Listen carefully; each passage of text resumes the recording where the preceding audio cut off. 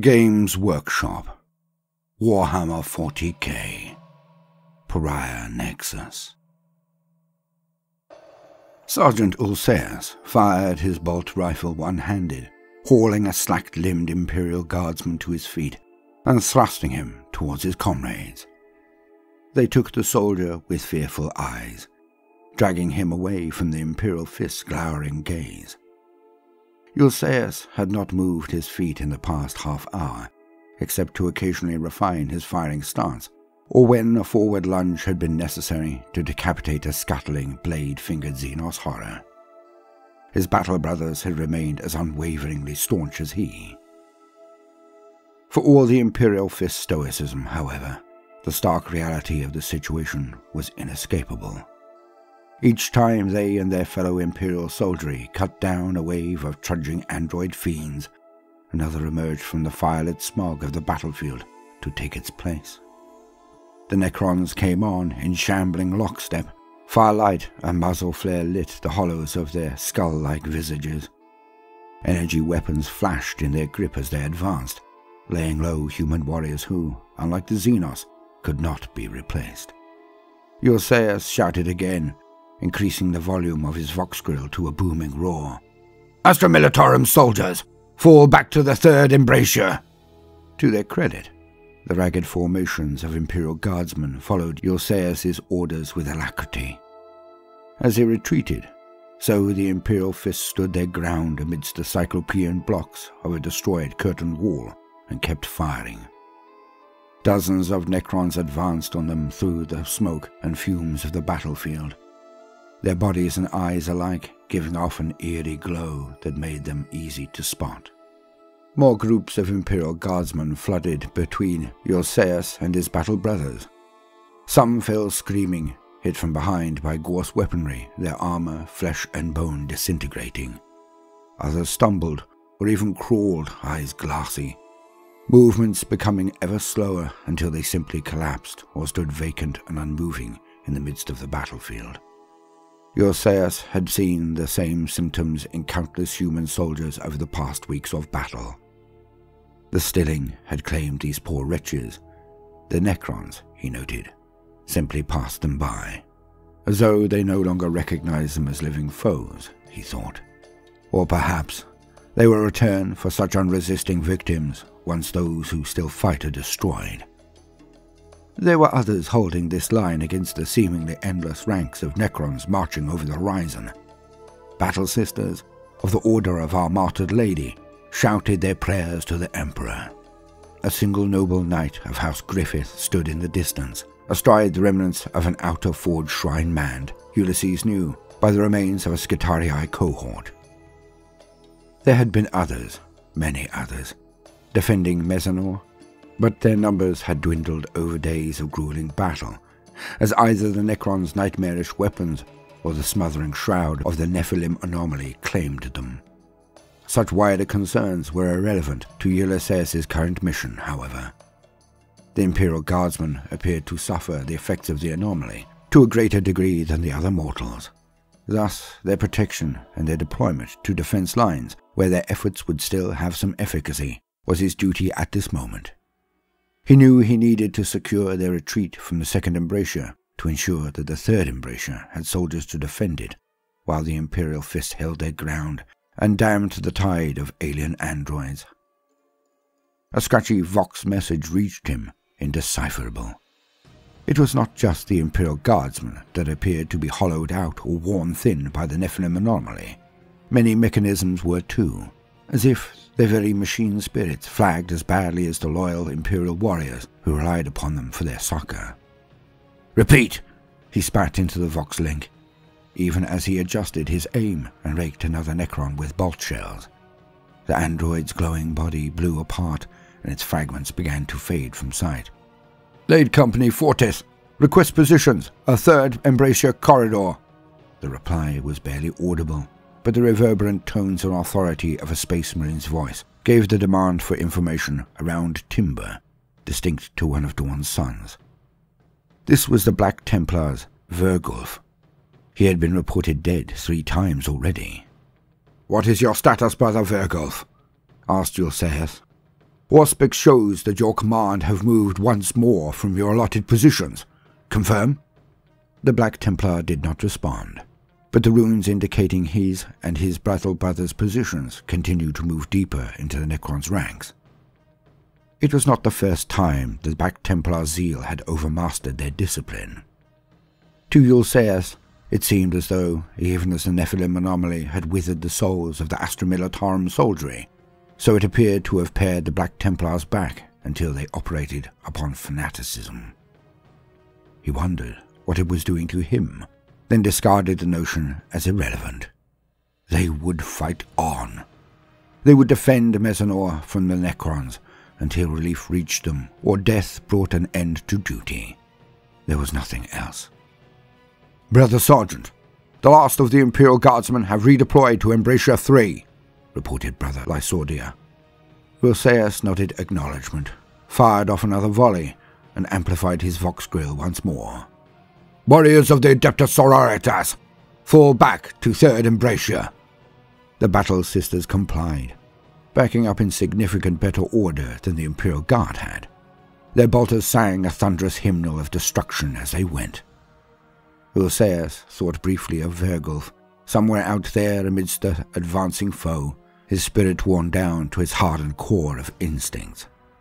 With subconscious ease, Ulceus loaded another magazine of bolt shells into his rifle. He braced again. His feet didn't move. The Zone of Silence.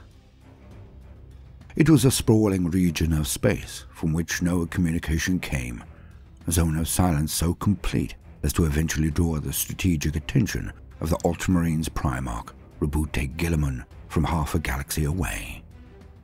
To the Imperial forces sent to investigate its haunted depths, it was known first as a Nephilim anomaly, and then as a pariah nexus. No one in the Imperium's highest echelons, not even the Lord Commander, with his statistical and organizational genius, had any inkling at first that the Nephilim anomaly was but one among many pariah nexuses at the dawn of the era Indomitus, after the spiritual darkness of the Noctis Aeterna lifted. Psychic distress calls bombarded terror from every corner of the Imperium. These mingled with the foul oratory of traitorous demagogues and alien warlords, and the wailing of billions of damned souls. The cacophony was overwhelming. Those rare regions of space that remained utterly silent stood out as stark mysteries, and none more profound or sinister than the void of psychic silence that was the Nephilim sector. The grinding bureaucracy of the Indomitus Crusades hierarchy rumbled into action. The Primarch appointed a battle group of Fleet Primus to discover the fate of the sector's silent systems, and Battle Group began its long journey from its mustering grounds. In its commander, Group Master Marin, Guilliman had selected a level-headed and proven naval officer. Fiercely pious and immovable on a decision once made, Marin proudly took up his role as the Lord Commander's torchbearer and the champion of Fleet Primus's vanguard into the region. Before the combined warships of Battle Group Kalides even reached the system's border, the Nephilim sector, Marin's outriders reported panic and terror spreading through these worlds like wildfire. Planets were in open revolt, roused by doomsayers who claimed that an onrushing malefic phenomenon would soon consume them. Populations were attempting to flee their planets en masse. Astropathic signals revealed heretic and Xenos raiders fighting fierce wars with Imperial forces from the Forboria stars to linchpin locations like the Zabrin system. In many cases, they seemingly fought not to seize worlds, but instead to harvest resources with which to fuel their own flight from whatever terrible power had been unleashed upon the stars in this region. Marin would not be distracted from the mission entrusted to him by the Primarch, but he dispatched task forces to restore Imperial rule in the worst affected systems. Marin's remaining strength entered the Nephilim subsector from the galactic northwest by the established warp channels his ship's navigators spoke of perceiving a shimmering psychic veil as they approached the zone of silence. Against superstitious warnings of caution, Marin commanded the battle group to plow onwards. He had not come so far to be held back by talk of void spirits and ill fortune. What lay beyond the psychic veil, according to the sensitive amongst the ship's complements, was a stillness to the warp, terrifying in its totality. A phantom frontier. The ship sped into task forces as they entered the Nephilim subsector, Maran pushing them towards the systems of Paradis, Zados, Shentai, and Vertigus. Navigators, astropaths, and seers wailed that they felt the cold hand of death clutching around their souls. War-hardened battle psykers complained they felt stilled, unable to reach for their powers, at times struggling even to draw their next panicked breath as they fought not to drown in thin air. Warp engines stuttered, requiring even more power to drive the ships through the immaterium. The task force's crews and armies began to suffer disquiet and tension. Executions for dereliction of duty or malcontent soared. When task forces finally translated back into real space on approach to their target systems, maneuvers the failing warp engines barely managed. There was still no sign of Imperial transmissions coming from worlds that Tithe records claimed were heavily settled. The feeling of a suffocating miasma only worsened as the first forces descended in dropships to the silent planets. Initial reconnaissance revealed ghost settlements emptied of citizens. When the task forces did eventually encounter the living, they sprawled like glassy-eyed and unresponsive dolls. Some overwhelming physical and spiritual lethargy had felled them, the same one that began to smother the task forces the longer they remained there. The baffled strategos of the battle group named the phenomena the stilling. Eventually, evidence of any cause for the stilling was long to surface. Some empty cities and mining communes bore signs of violence, it was amid the partially settled jungles of Mesmok in the Zados system and later on other worlds that the source of the enervating scourge was discovered in the form of black stone pylons so tall they scraped the troposphere. The architects of the stilling and the crippling of the Nephilim sector finally revealed themselves when the battle group's forces first attacked the pylon of Mesmok. Armies of Necrons surged to attack in sudden and ferocious assaults across system-wide battlefronts. A stilled region. The first clash with the Necrons of the Nephilim subsector came in the shadow of the Mesmok pylon, but even before this, the task force of Battle Group Kalides had gathered disturbing evidence as to the cause of the region's ominous silence. Vanished populations, abandoned hive cities, and omnipresent spiritual suffocation proliferated. Marin and the battle group's commanders determinedly sought out the cause. Agriplexes, spaceports, generatoriums, refineries, mining settlements, fortifications, even entire hives, all stood empty, or else were peopled only by scattered drifts of the stilled. Imperial forces found food cold and mouldering at tables, as though abandoned mid-meal. Servitors stood dead-eyed and silent, their machinery still operating, but their living components seized. Ground cars, mining rigs, and shuttles lay where they had crashed, as though their pilots had lost control but done nothing to prevent collision. In places, much damage had been done by fires raging out of control or unattended plasma generators overloading. Nor was it only human life that appeared to be affected. Treading through verdant undergrowth on Calipor, Imperial Guardsmen gagged as they realized the soft give and crunch beneath their boots was not loamy earth, but the bodies of countless small animals that lay in catatonic stupor. The stultifying miasma affected the warriors of the Kalides task forces without exception. Soldiers complained of feeling watched, only to succumb hours or days later to growing lethargy and exhaustion. Some would stumble to a halt mid-march, stand slack-jawed and unresponsive, where they were not executed for dereliction of duty, these pathetic wretches were dragged aboard evacuation shuttles for attempted treatment or experimentation, depending on which of Maran's commanders reached them first. But precious few regained any semblance of awareness. Not even the Adeptus Astartes, the scions of the Knight Houses, or the servants of the Omnissiah were unaffected by the stilling. They were more resilient, but not altogether immune.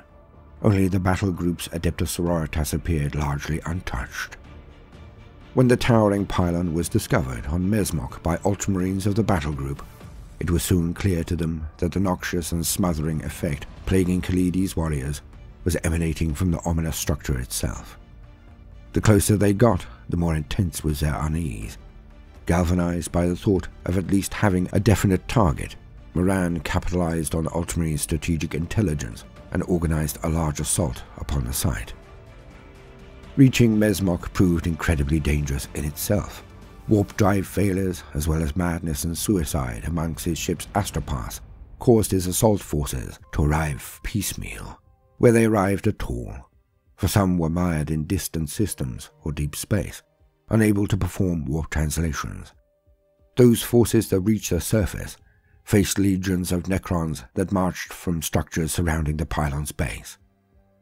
Orbital bombardment from the battle group's powerful warships was deflected by the pylon's tremendously powerful quantum shielding. While a strike force of the Adeptus Astartes pushed forward to attack Necron ground forces around the pylon's base, the supporting forces of Imperial Guardsmen suffered terribly from the pylon's waves of enervating force. More losing heart or collapsing glassy-eyed by the moment. The battle for Mesmok ended in failure.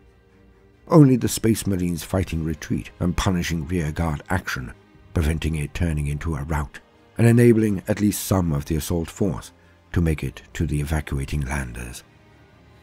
The discovery of the pylon on Mesmok was joined by others. Each one was unique, though all towered to vertiginous heights. Some appeared embedded in solid rock, though whether built there, landed from orbit, or grown from underground could never be concluded. Others were found in orbit around stars or the fringes of systems, even in deep space. Many were discovered by the battle group's most determined and experienced investigator, Lord Inquisitor Draxus. She led efforts to understand what had occurred in the Nephilim sector, commanding numerous small missions by specialists to hunt down more information on the Necron's plans, as well as any way in which to topple the seemingly invulnerable pylons.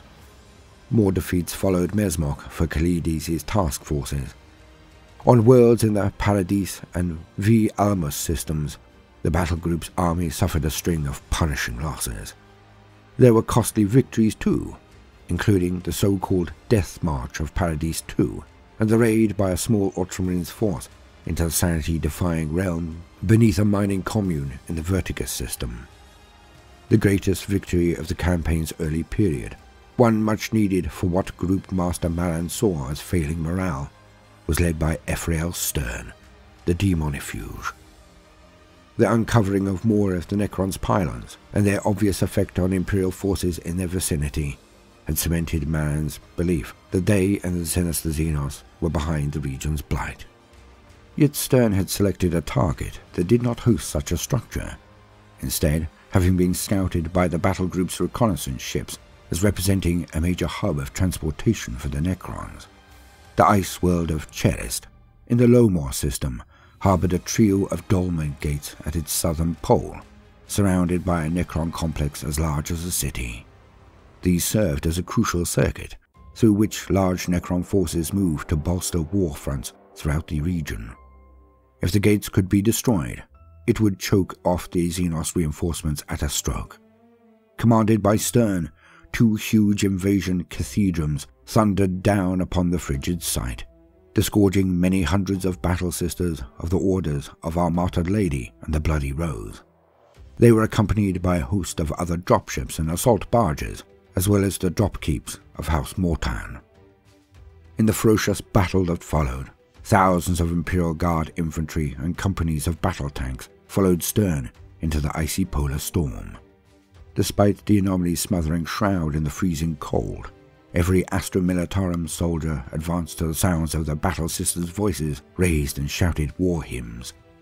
They felt their own faith in the god Emperor swell like the fires of the braziers flaring amidst the battle sisters' ranks, and felt certain that with such holy warriors of the Master of Mankind at their head, they could win this day.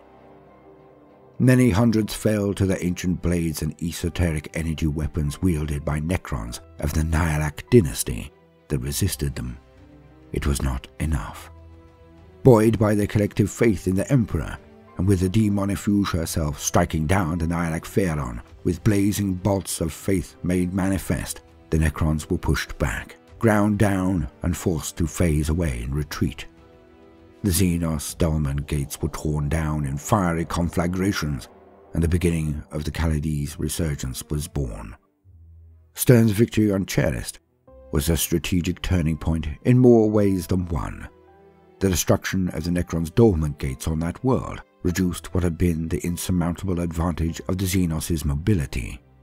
It limited their capacity to pour additional forces into continuing battles in the systems to the galactic north of the region in the Zydos system, the Andromedan Blades chapter were finally able to break the siege of Exalta on the planet Messenor, while on Herthalas, in the Shentai system, the fallen Necron reinforcements allowed nine regiments of Kishari light yeomanry to break out of a cordon in which the Necrons threatened to annihilate them. More significantly, Stern's victory on Cherest appeared to prove the effectiveness of faith against the entropic effects of the Necron's artifice. This seeming revelation was seized upon by the pious of Battle Group Kalides, few more so than Groupmaster Marin himself. The decay that haunted so many of the Nephilim subsector could, they proclaimed, be put to the torch of belief. Unconfirmed rumors circulated of still soldiers rising again with gasps of relief when surrounded by warriors of sufficient faith, be it the tech zealotry of the Adeptus Mechanicus or the fervour of the imperial cult. The soldiers of Battle Group Kalides clung to their creed like shipwrecked mariners to spars of wood in a storm. What humanity, in its blinkered understanding, had not yet grasped was that the Nephilim anomaly was a single cog in a scheme whose size and import were beyond anything the Imperium could engineer. The cosmic mechanism was spread to encompass the entire galaxy, with its goal as nothing short of divorcing reality from the warp for all eternity. The work owed its grandeur and immortal timescales to some of the Necron's most ambitious minds, and its patron was no less than the Silent King himself. While the likes of Inquisitor Draxus attempted to piece together the Nephilim anomaly's nature, to her and the rest of Battle Group Kalides, it still defied rational explanation. To its architects, however, the Contra Immaterium Nodal Matrix, as they termed it, was an unparalleled work of cosmic engineering. To effect the realization of his vision, the Silent King had drawn together some of the greatest crypteks known amongst the Necron dynasties. Even a number of the historically rebellious but incredibly gifted technomandrites. These eldritch technologists possess skills as transspatial geniuses, cryptofractal numerarchs, plasmatic viziers, and other aptitudes as esoteric and grandiose as the lineage of the most high-born of nobles. To create the growing Nephilim anomaly, entire stellar systems had been translocated. The orbits of their constituent bodies had been realigned to match insane fractal circuits. Planets had been dragged from their host systems across gulfs of space to circle synthetic singularities, or else cast aside as cosmic clutter where they impinged on ley lines of galactic power, consigned to wander the void as rogue planetoids. Linking each astromantic hub, corridors of stellar nodal entanglements were woven across light years of space to create a web of negatively charged anti-empiric energies between the megastructures encircling the star of their Zendu system and the nodal positions of the Blackstone pylons. The arcane scientific mechanisms that underpin the Nephilim anomaly suffused the star systems with a pall that choked off connections to the warp. Nor was it the only construct. Crypteks in service of the Silent King had established other contra-empiric matrices around the remotest fringes of the galaxy to encircle it like a noose. These prior nexuses were the means by which the Silent King hoped to imperiously sunder the corruptive influence of the warp from the entire galaxy once and for all. With its malignancy isolated from real space, the Necrons would be free to harvest the soulless husks that remained of the galaxy's other species. Through them, perhaps, a way might be found to undo the curse of biotransference, to usher in a new time of flesh. The Silent King's galactic endeavor could never have succeeded without the armies of many of the Necron dynasties. The structures within each nexus could be threatened by the younger species before they were fully operational, and so the Silent King had leveraged the loyalty and ambition of countless lords and pharaohs to his cause. He used their legions to protect his Blackstone pylons and crush attempts to both escape the growing Silent Realms or to invade them. Using Dolmen Gates, Szarekh kept a close watch on his nodal matrices around the galaxy's edge often hiding his presence from his servants and enemies both. It was in the Nephilim sector, however, that the Silent King strode forth from his war bark, the Song of Oblivion, to lead his followers, seeing his great work threatened by the rising tide of foes there. Some dynasties, including those of the Szarekhan, provided legions and service to the Silent King out of absolute loyalty to him. Others bent the knee out of fear of the Triarch Praetorians, or voiced their support only in return for guarantees of great wealth, territory, and harvests of stilled specimens in the Nexus regions. Despite his political mastery, the Silent King's offers and threats were rebuffed by some pharaohs, none more so than the Sautekh. Though they led to strident claims of the God Emperor's renewed favour, Battle Group Kalides' seemingly miraculous victories could not eclipse their more numerous defeats. Several task forces were lost entirely to Necron offences, to the effects of the Entropic Shroud, or simply vanished without explanation. Group Master Marin was compelled to pull his remaining forces back to a narrow interstellar frontage, focusing on systems where several task forces could be brought to bear at once. Worse, he was stripped of the grim wisdom of Inquisitor Draxus. With her expanded retinue and assets requisitioned from Marin's dwindling forces, the Lord Inquisitor had vanished on a mission of her own. Few among the Imperial forces would have understood this significance, even had they known that the Silent King had come to lead the Necrons in person. Yet his presence was swiftly felt by Group Master Marin's strategos, Imperial battlefronts that had been stabilized through blood and zeal shuddered close to collapse under renewed Necron offenses. Ghastly new weapons were unleashed by the android aliens, to whose cosmic power Maran's followers had no answer. Battlegroup Kalides was on the brink of annihilation when tentative contact was made with a struggling flotilla of Imperial warships entering the Nephilim subsector. Here at last, where the task forces of Maran had detached to stabilize the systems beyond the anomaly's boundaries. They rejoined their battle group in the very nick of time.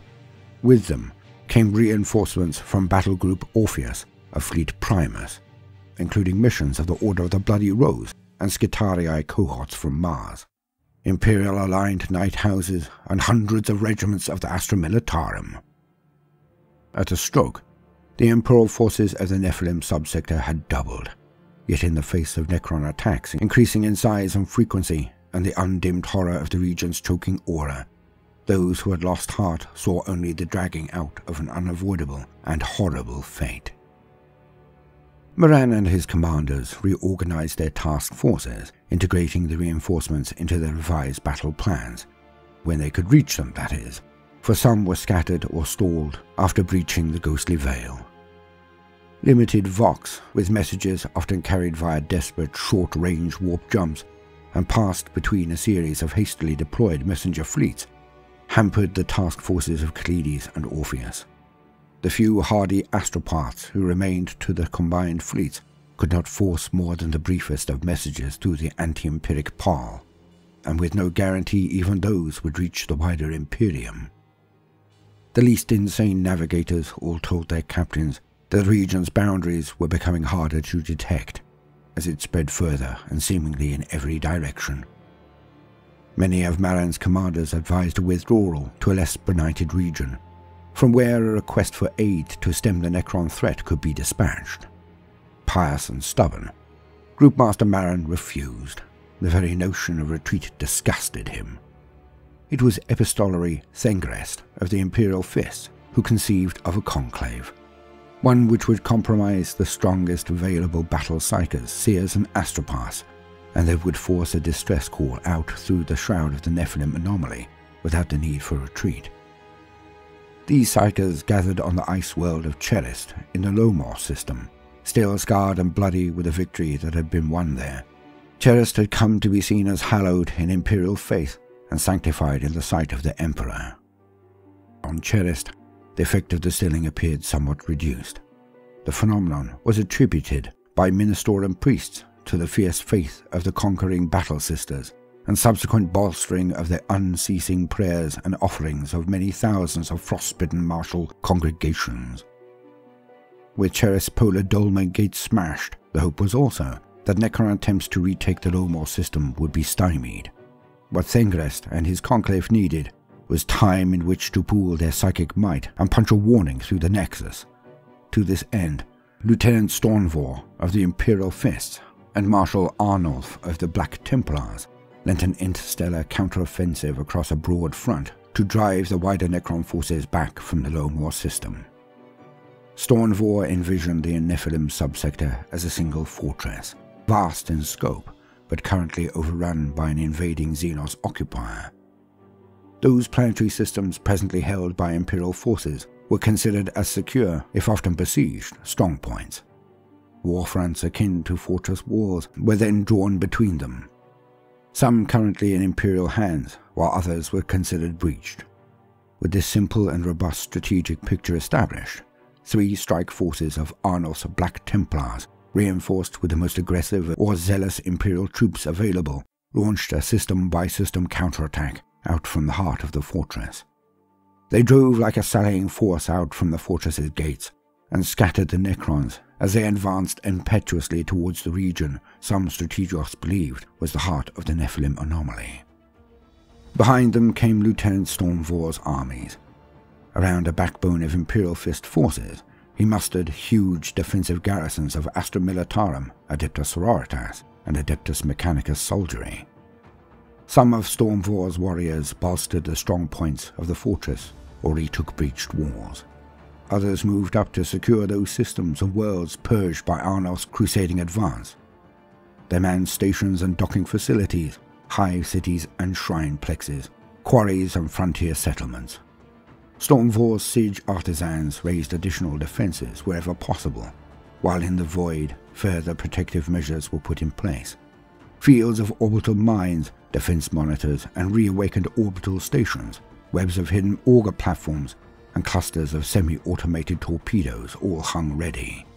Monitored by the swiftest frigates of the Messenger fleet, it was hoped that these defenses would also provide some early warning of Necrons trying to circumvent the fortified systems.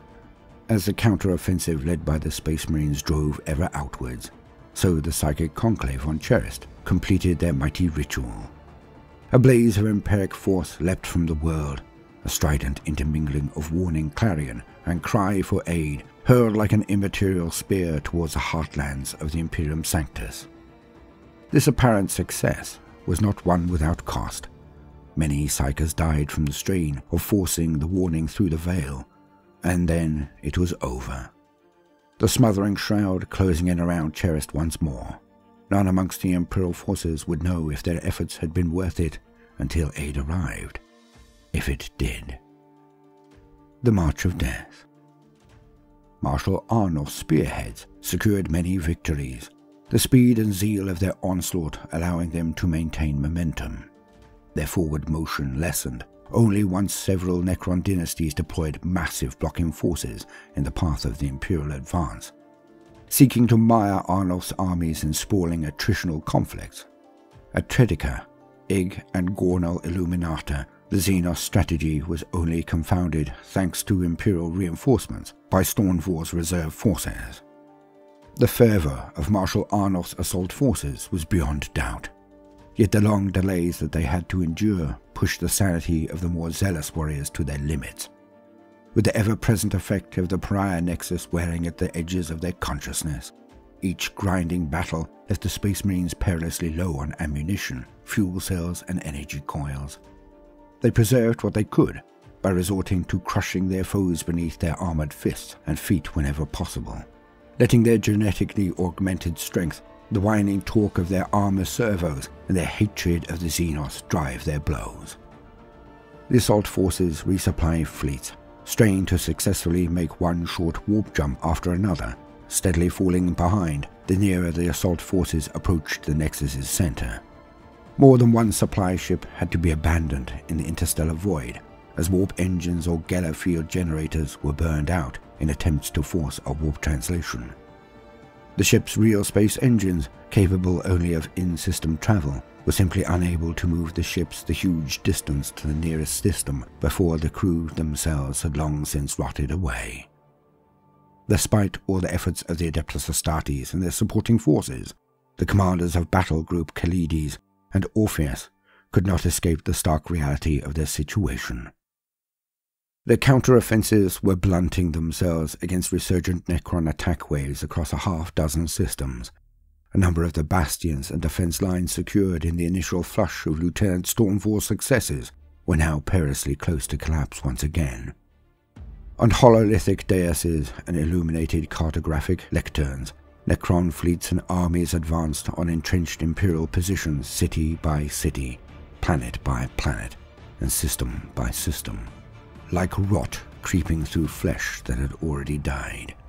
Despite the dedication of the battle group's messenger ships and their crews, Imperial strategy could not keep up with the speed of many Necron forces, nor ever claim to have identified them all. Demands for support or information were repeatedly dispatched to garrisons that had long since been eradicated. Whimpered claims of attacking Necrons received from fortified outposts were dismissed by logisticians sure that there were no Xenos there at all. Many such reports were dismissed as delusions brought on by the stilling. The Necrons' steady gains, as they forced Imperial armies to cede ground or else annihilate them, could have been even swifter and more methodically efficient, but for the actions of a few nobles. The dynastic forces fighting in support of the Silent King were not the only Necrons operating in the region. Some Necron warlords raided human ships or worlds with no thought for the Silent King's wider strategy. Trazyn the Infinite, after alerting an Imperial fleet to a hidden Necron presence at Alice Nebula, was accused of raiding numerous other Necron and alien ships, stations and vaults, stirring up a confused hornet's nest across six entire systems. Phaeron Vodreska, last scion of the Fatanet dynasty, appeared to have suddenly vanished leaving her subordinate Necron lords isolated and vulnerable. Word also reached the Silent King of Necron forces directly attacking his loyal servants, and even laying siege to nodal systems on the galactic eastern edge of the nodal matrix. He dispatched Overlord Neshkafar of the Szarekhan dynasty to discover who these treacherous armies served. If it was not a noble bent upon selfish personal conquest, or suffering some manner of post-hibernatory madness, then perhaps those technomandrites he had been unable to sway to his cause had at last found allies. The bastion of imperial resistance that Maran, Sternvor, Arnulf, and others had built was breached many times.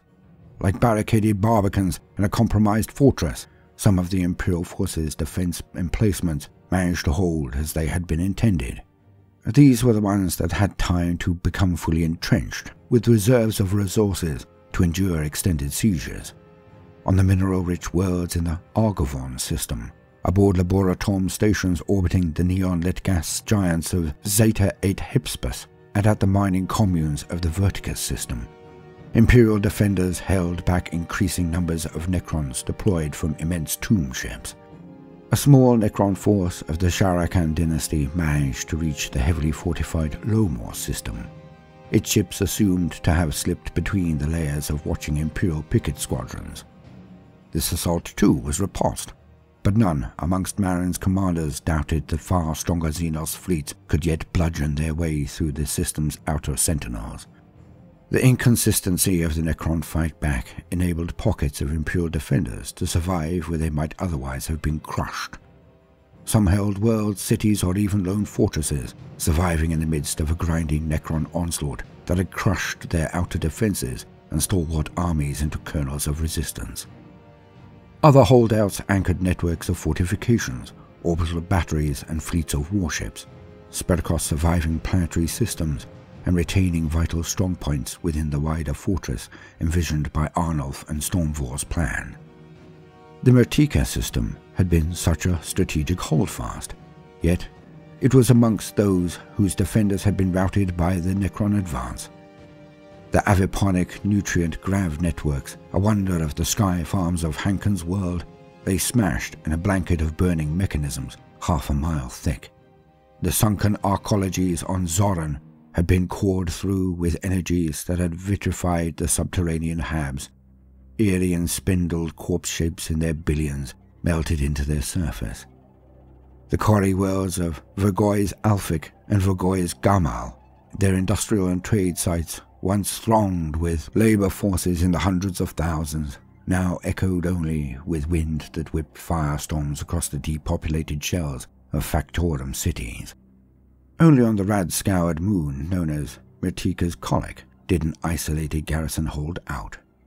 Unable to detect any Imperial signals, for all of the few thousand Space Marines, Battle Sisters, and Imperial Guardsmen knew, they were the last defenders of the subsector. Obsessed with extinguishing this last holdout, destroyers, flayed ones, and other nigh uncontrollable Necrons or Mertika's Colic had been left there when the primary dynastic forces had moved on to hunt down more numerous human threats.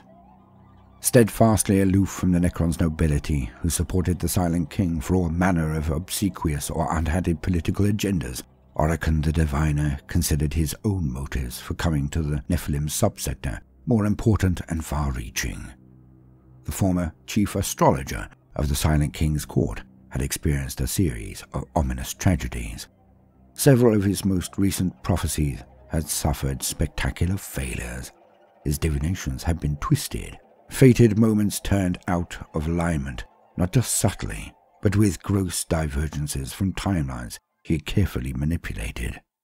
Orikan's attempt to mitigate these disasters, travelling back and forth along his own history to hide his failings from other Necrons, revealed to him a tantalizing corruption. The chronomancer came to the conviction that some inconceivably vast release of fundamental energies had ripped through the weft of his prophecies. The temporospatial origins of the calamity were obscured by casual storms of remarkable ferocity but Orikan was a master of his craft. He followed the strands of broken prognostication in a trail that ultimately led him to the Nephilim subsector.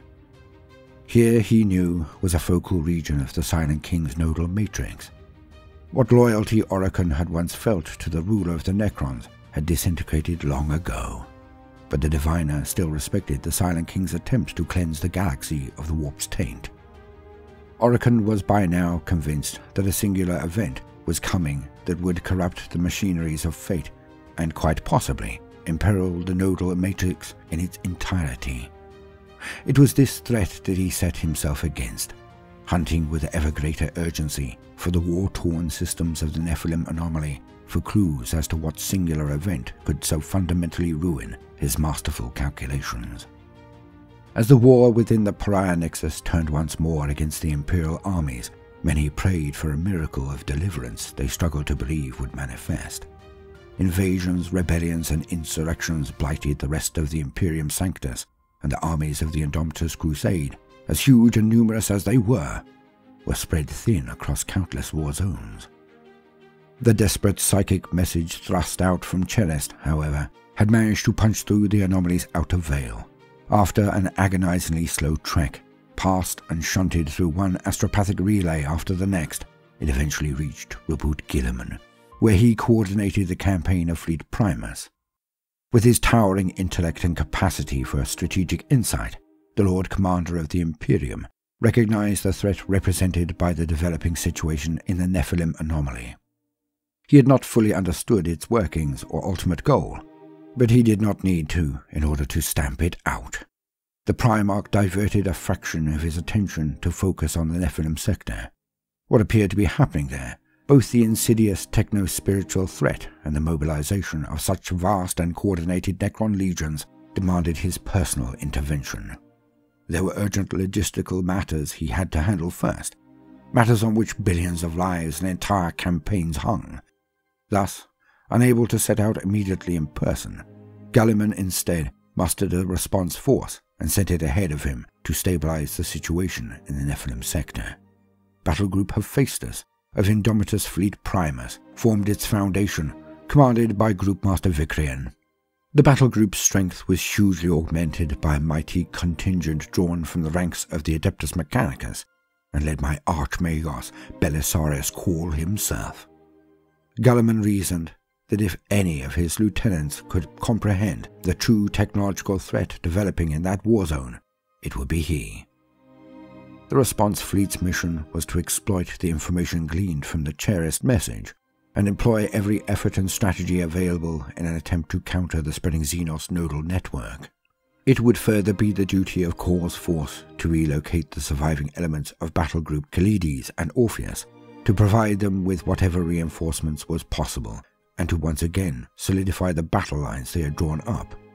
In this way, a true bridgehead into the Nephilim anomaly could be secured. When Guilliman himself arrived with further reinforcements, the hope was that however dire the survivors had claimed the Xenos threat to be, the combined Imperial armies would be enough to drive them back. Whatever peril was represented by the expanding zone of silence, Guilliman would see it eliminated entirely. Yet before he could do so, it would fall to Belisarius Cawl to construct the foundations for the Primarch's onslaught. It was a mission the Archmagos was only too eager to undertake. After all, a region so rich in noctilith deposits and abandoned technologies might prove as profitable to secure as it was strategically vital. Dam Sorrel Volker piloted her Knight Warden, Diodamus, along the narrow roadway. Sarclaw Volker followed in his knight Paladin, Omtola.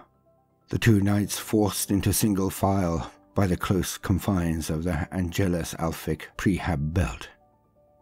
Ruined buildings seemed to press in upon them from either side, looming dark and cadaverous from the whirling snowstorm that reduced visibility to a dozen yards at best. Dame Sorrow kept a portion of her attention on her tactical auspicator, knowing it would be the only warning she would get if the Necrons located them. She despised the notion of creeping through these ruins, hoping the storm would stave off the enemy. But then, she thought, this was the war on Cherist now. Quickly shaking off the distraction, Sorrow fought for focus. Not for the first time, she silently cursed the fog clouding her thoughts and the numb tingle in her extremities. She could not afford to let the anomaly enfold her. Too many of the Omnissiah's faithful had fallen that way. She focused through her external vid feeds, keeping a wary eye upon the snow-covered roadway ahead. Amidst the prefabs, one had almost to watch for wrecked armored transports, frozen corpse piles, or toppled rubble hidden beneath the snow. One wrong footfall on such ground, and her knight suit might be pitched into a fall from which it could not be recovered. Sorrow felt disloyal to her steed for thinking it, but the truth was that Diodamus's machine spirit was suffering as badly as she was, and so she could no longer entirely trust that the knight's own sensors would detect such a hazard before it would trip them. On her tactical manifold, Sorrow saw Omtola's rune flash amber before stuttering back to jade. A glance through her rearward feed showed a shattered spar of masonry falling from where Claw's knightsuit had slipped it with a weapon limb. The lapse reminded Sorrow that she and her steed were not alone in suffering under their anomaly's shroud. Machine God, take this cadaverous slum, muttered Claw over the vox. Endure, cousin, replied Sorrow. Our patrol is almost at an end. Outpost Gehenos lies but four miles to our west, and marching this route shields us from the attention of the foe. Hopefully, she added, silently to herself her gaze darting across the external vid feeds at the ruins and the white whirling maelstrom around her. This ominous sinking sits ill with Omtola, replied Claw, seeming set on querulousness, quite out of character with his usual stoicism. Another symptom of the stilling that had worsened in recent days. Soros knew it, yet her own mental reserves were fraying too, and she could not stop herself from scowling behind her gilded face mask. Cousin, you know as well as I it is necessary, she said, more sharply than she intended. Had we the supplies of ammunition and fuel to support direct conflict, and enough sacristans still conscious to tend our steeds, I would be the first to lead the charge against these Xenos filth. That way at least lies glory, Claw shot back in frustration. A final charge for chivalry and the Omnissiah. Better than rusting away in obsolescent hope until they pick us apart like carrion feeders on a carcass.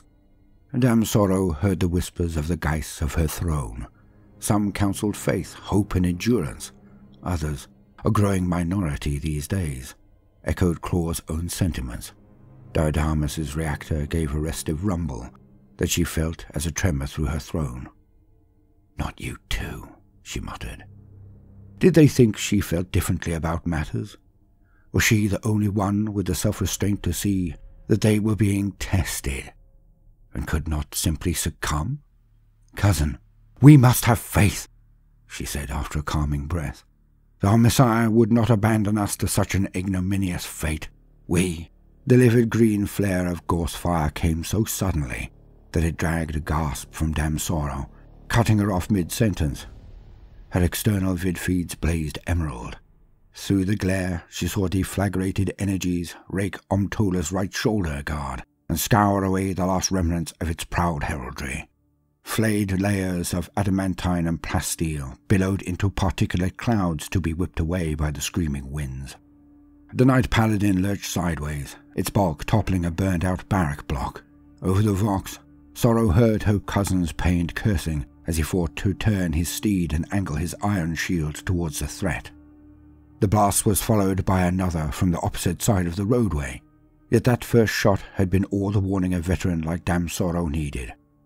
Even in her mentally degraded state, instinct saw her tilt her own steed's ion shield deftly and absorb the force of the gauss blast in a flash of emerald on turquoise.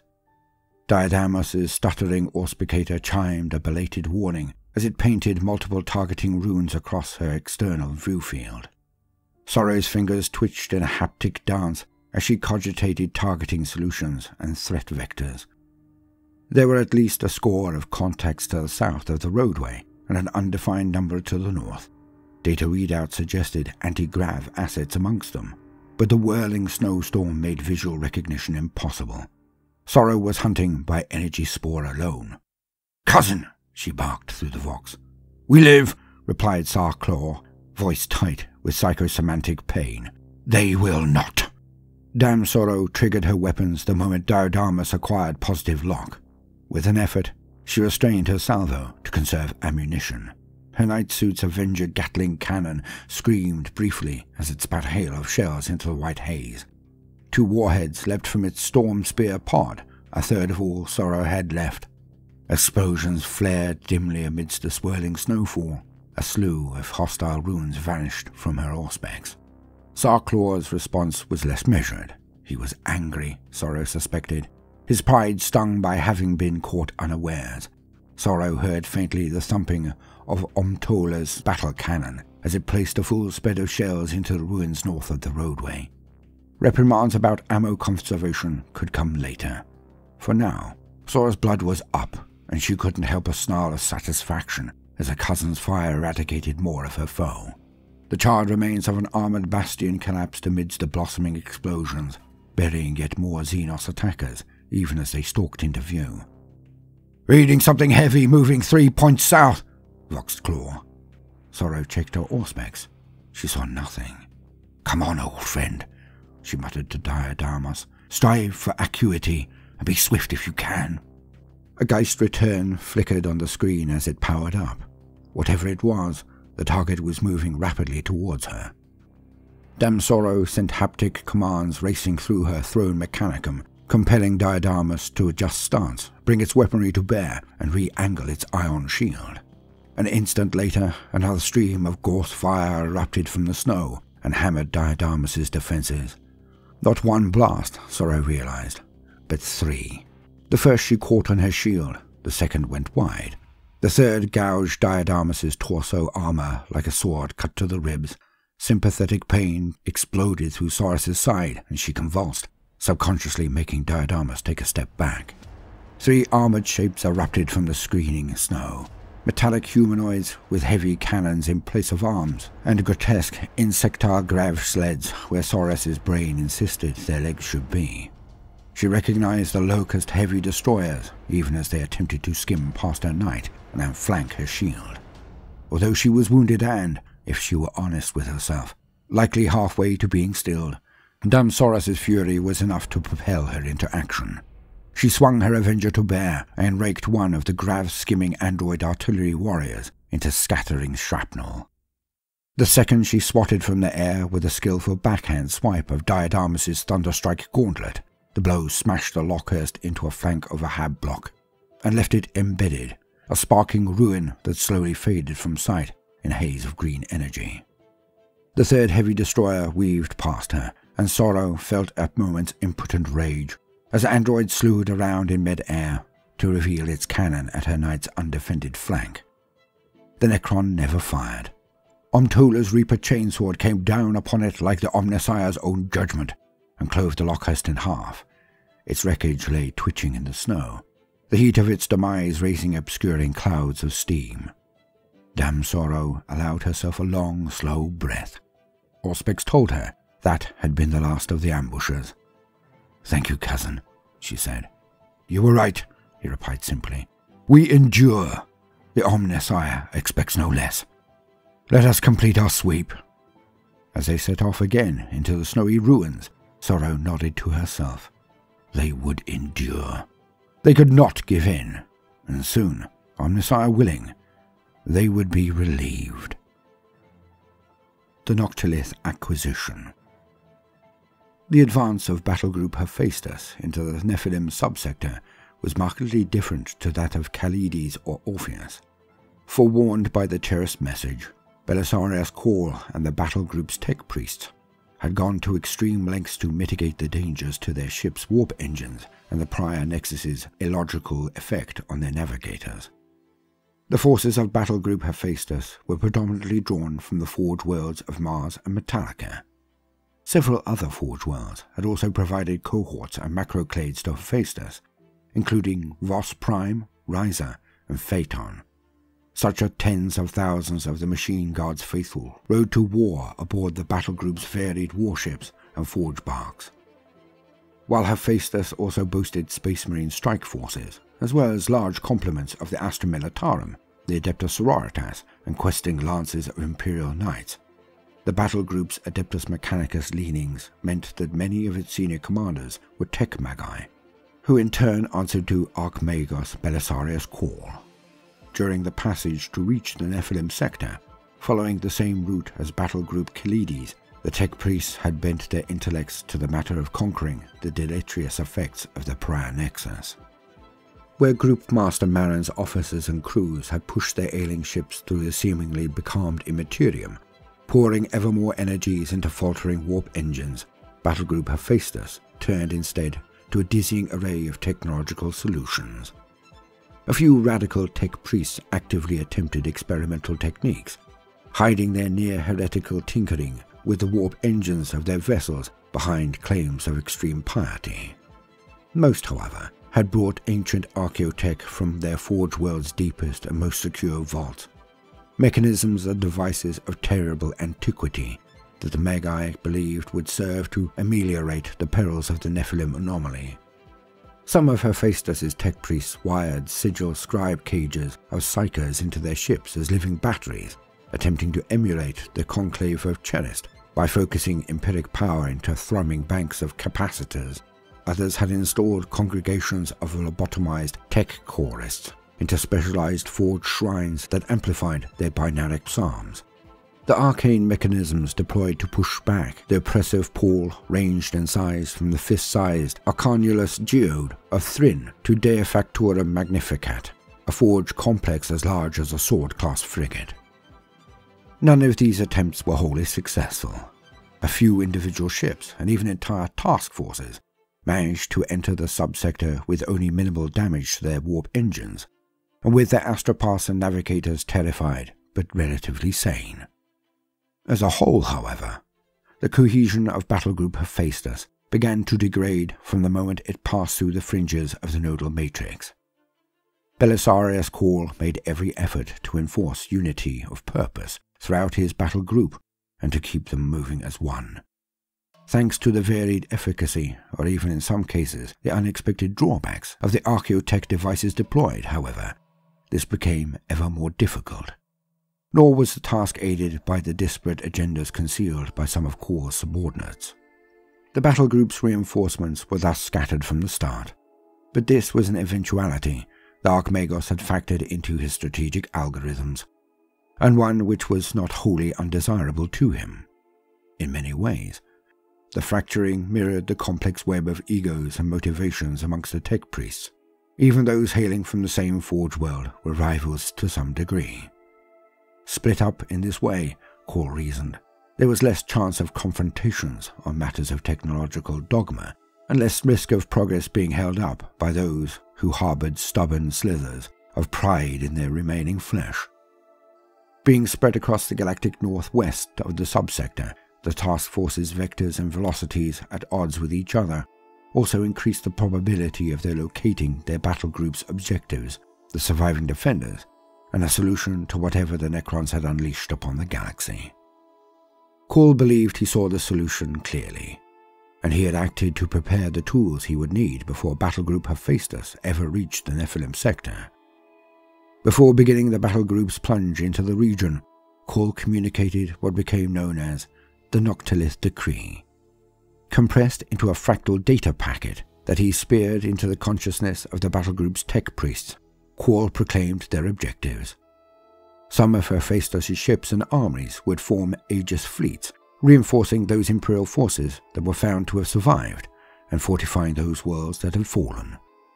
Others would form accretion fleets to seek out and secure deposits of Noctilith wherever they could be found, and to process them on a scale never before seen within the Imperium. As part of his data packet, Cawl spread his directive what to accomplish with the secured Blackstone. In his estimation of the Cherist message, the Necron pylons were being negatively charged. Such a process would unlock the full potential of the Noctilith to repel the energies of the warp, which, Cawl hypothesized, went some way to explain how the zone of contra-immaterial silence was being maintained. The Archmagos commanded that the masters of his accretion fleets would oversee the fashioning of their amassed Blackstone into massive toroid constructions of Cawl's own design, which he called liminal abrasors. These could be towed by grav tether behind their larger explorator vessels and forge barges. Employing a radical series of technological adaptations of the warp engines of those vessels, Cawl believed his Magi could apply a carefully measured positive empyric charge to their liminal abrasors. These mechanisms were theorized to project and sustain a quantum-folded architecture of energy into the liminal zones between real space and the warp. This energistic field was an entangled irritant that neither realm of existence would allow to endure permanently, or so Cawl claimed. The Archmagos believed that, once a positive empyric charge ran through their abrasors at precisely the right modulation, the devices would compress and excite the energy fields they generated against the phantom veil the Necrons had erected. With the energetic fields as lapping powders, the Archmagos explained, and the mechanisms acting as the grindstones. It would be as if the glorious Omnissiah himself worked to wear away the oppressive barrier of the Nephilim anomaly. No physical examples of a liminal abrasor existed. No tech priest of battle group Hephaestus had encountered such a rumor of such a technology. The Archmagos ignored demands to reveal where he had discovered the sacred design. The details he provided were also fragmentary and unutterably ancient with hermetic signifiers and formulaic leaps that defied immediate understanding by the tech priests. Yet the awe they felt as they absorbed every facet of the information overrode almost all trepidation. It was cause hope that, with sufficient experimentation and processional refinement, the liminal abrasors could extend their effects to encompass entire worlds or even star systems, and thus drive back the insidious effects of the nodal matrix one bloody step at a time. The Archimagos shared a fractal of his accumulated Blackstone lore with the Tech Magi of Battle Group Hephaestus, enough for them to grasp the rare material's pivotal role in his plans and to carry out his instructions for its use, but no more. Driven to experiment tirelessly in search of the solution, Cawl had ordered a huge reserve of Noctilith loaded into the holds of his vessel, Zar-Quaesitor, before setting out for the Nephilim sector. However, he knew that much more of the substance would be required for his plans. Fortunately, accumulated star charts and cribbed Munitorum report stacks concerning the Nephilim subsector suggested that the region boasted a large number of quarry worlds. The Archimagos didn't doubt that the Necrons would have plundered some of these worlds for their own dark artifice. He hoped, however, that enough reserves would remain to serve his accretion fleet's purposes. There was also the tantalizing possibility of using the Necron's own works against them. Cawl held information besides the Cherist message, data that suggested that the Necron's pylons were not invulnerable, and that they could be brought down from within. If that were true, then their substance could be claimed for his own use and become part of the solution itself. Those task forces of Battle Group Hephaestus that would serve as the Aegis fleet were to be called Shield. Most comprised no less than a dozen warships of varying size, escorting at least one huge forge ship. Due to scattering caused by the battle group's entry, however, some Aegis fleets had adopted new protocols, or commanders due to ships or whole squadrons having been held back, driven off course or forced into emergency warp translations that separated them from their assigned Aegis fleet. Most were led by senior adepts of the Omnissiah, high-ranking Magi, Tech Priest Dominus, and Manipulus, as well as others who claimed polysyllabic titles of increasingly arcane and archaic meaning, who typically named their fleets after themselves. The Aegis fleets comprised significant numbers of war engines, long-range tech artillery, and large cohorts of battle servitors and Castellan robots, backed by the massed ranks of Skitarii soldiery these forces were supplemented by the majority of Battle Group Hephaestus's non-Adeptus Mechanicus contingents. Cawl had theorized that those without faith in the machine god might question the necessity for harvesting or experimenting upon Noctilith, and might even hamper the efforts of the tech priests if they perceived such labors were slowing their martial advance. Worse, within his Noctilith decree, Cawl had authorized his lieutenants to ignore the pleas of beleaguered Imperial forces in favor of harvesting Blackstone. He reasoned, after all, that finding the eventual solution to the dangers of the anomaly mattered more than preserving armed forces already rendered combat ineffectual by long-term exposure to the stilling. He doubted, however, that the more bellicose or unaugmented amongst the battle group's commanders would agree with this assessment. Thus, Cawl had convinced Group Master Vicrian to distribute most of the battle group's Adeptus Astartes and Adeptus Sororitas, along with hundreds of Imperial Guard regiments throughout the Aegis fleet. His reasoning to Vicrian was that these fleets would be directly engaged in linking up with and reinforcing traumatized Imperial survivors who would integrate more readily with fellow humans or inspirational super soldiers than with the coldly inhuman servants of the Machine Guard. Privately, Cawl cogitated that Vicrian's non-Adeptus Mechanicus soldiery could do the most good if not placed in direct positions where flesh and blood fallibilities might lead them to what he considered illogical action. They still operated under the nominal authority of Tech Magi, who had adopted the augmetics of their war forms and downloaded strategic protocols into their partitioned minds. These priests heeded the wisdom of experienced martial commanders within their fleet, but every decision was ultimately at the mercy of their own ruthless logic. The Aegis fleets were charged first and foremost with establishing fortified presences on Imperial worlds within the systems nearest to their subsector entry point in the galactic northwest. To this end, at least one ancient manufactorum barge was present in each flotilla. These enormous mountains of industry churned out arsenals of weaponry, fabricated defense embrasures and bunker complexes, distilled chemical fuels, and generated thermal and plasmatic energies in gargantuan volumes as the fleets moved towards their targets. Though separated, the Aegis fleets set about their duty with mechanical efficiency. Within days of the official commencement of operations, a half dozen worlds had been secured by the task forces of Battle Group Hephaestus, and contact established with scattered elements of Stormvor's fortress. Such Imperial holdouts were alarmingly few, however, and all required some degree of immediate rescue from besieging Necron forces that pressed in upon them on the ground and in the void. In many other places, the Aegis fleets found only husks of empty devastation. Above Grimhail and Udin Pentus, both worlds encircled by the orbiting wrecks of destroyed transport barges and what had likely been escorting warships. On the planet's surfaces, huge tracts of destruction spoke of ferocious battles long since lost by the Imperial defenders. Rotting corpses and rusting tank shells were strewn throughout the blackened bones of cities. Inside sealed bunkers, the scouting forces of the Aegis fleet found groups of slumped warriors with glassy eyes, thinned by starvation despite the bunker's ration supplies. Onto these fallen worlds, the Aegis fleets dropped sky-darkening flights of dropships and lander hulks. Clades of lobotomized servitors set to work erecting around armored bulwarks and bristling forge shrines. Industrial sites were repurposed as holy manufactura and shielded arsenals.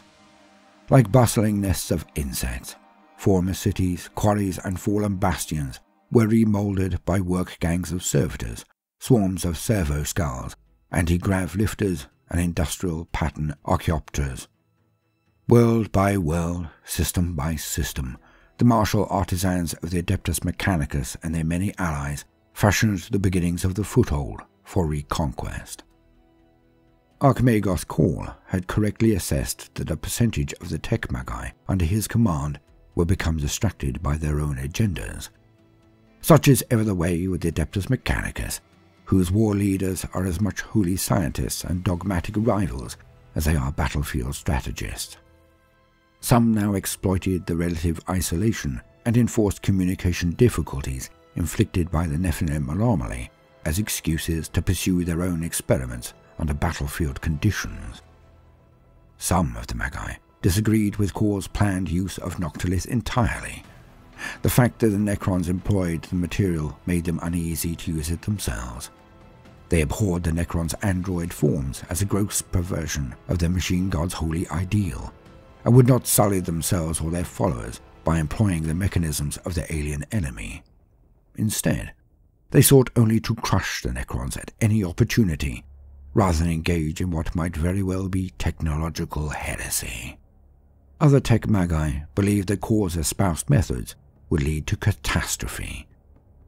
They were reticent to fashion liminal abrasors or risk charging them with empyric energy in case. In seeking to unmake the Necron's smothering shroud, they accidentally tore uncontrolled breaches into warp space. Even amongst those loyal to Cawl's vision, there were those who allowed greed to override the Noctilith decree, or whose nerve faltered as their own warriors started to succumb to the stilling despite all their augmentations. They seized opportunities to harvest or scavenge from stilled worlds, ignored the distress calls of long beleaguered elements of battle group Kalides or Orpheus, or even suborned the remnants of such forces into their own quests for personal power rather than bolstering their positions as they should. The accretion fleets that would seize deposits of Noctilith had a more aggressive focus than the Aegis fleets. Their course compromised Forge World warships that carried large-scale ground attack forces made up of Sicarian killclades, Pteraxii cyberflocks, and tireless Skitarii vanguard and ranger cohorts, as well as congregations of electro priests and all manner of swift transports and esoteric attack craft. It would be these that secured Noctilith sites once they had been located, annihilating any foe already there and acting as a rapid response force to counter attempts to reclaim the sites. The ancient artifact vessels of the Accretion fleet also bore within their cavernous hulls large mining engines.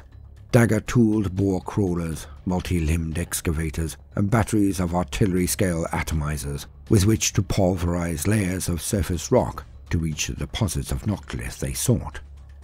Immense petrolithic processor shrines in echoing loading arcades were wreathed in incense and ringed with choirs of chanting tech priests, preparing them to be loaded aboard monolithic dropships.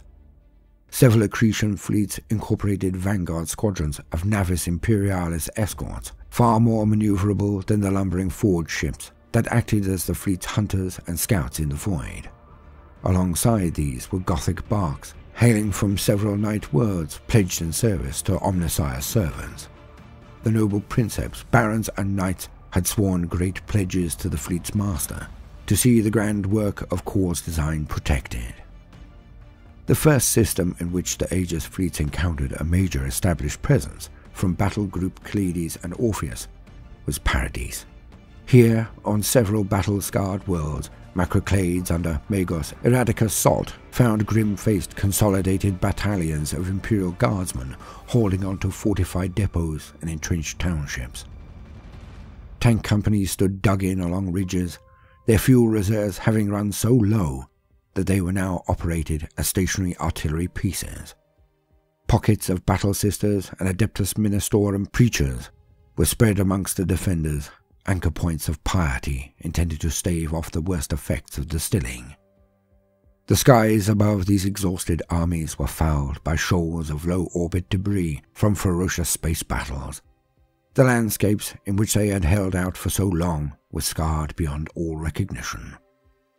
Once verdant plains had been reduced to blackened glass and jagged crater fields, mountain ranges had been entirely leveled. Seas and oceans boiled away, and entire cityscapes had become corpse-choked mausolea, where flesh and bone had taken the place of flakboard and mortar in the defenders' improvised barricades. Nor were these worlds free of foes. Active Necron threats persisted on every world in the Paradis system, while a handful of their dark, majestic warships hung in the void, as though observing the final defeat of the Imperial defenders from afar. The warships of the Aegis fleet drove those Necron tomb ships away, boarding actions launched by the Decimal Redemptor and Forgepire, seeing one of the alien warships scuttled before it could escape. With localized space secure for the moment, Magos Salt dispatched landing parties to answer the static-laced voice hails of the defenders below.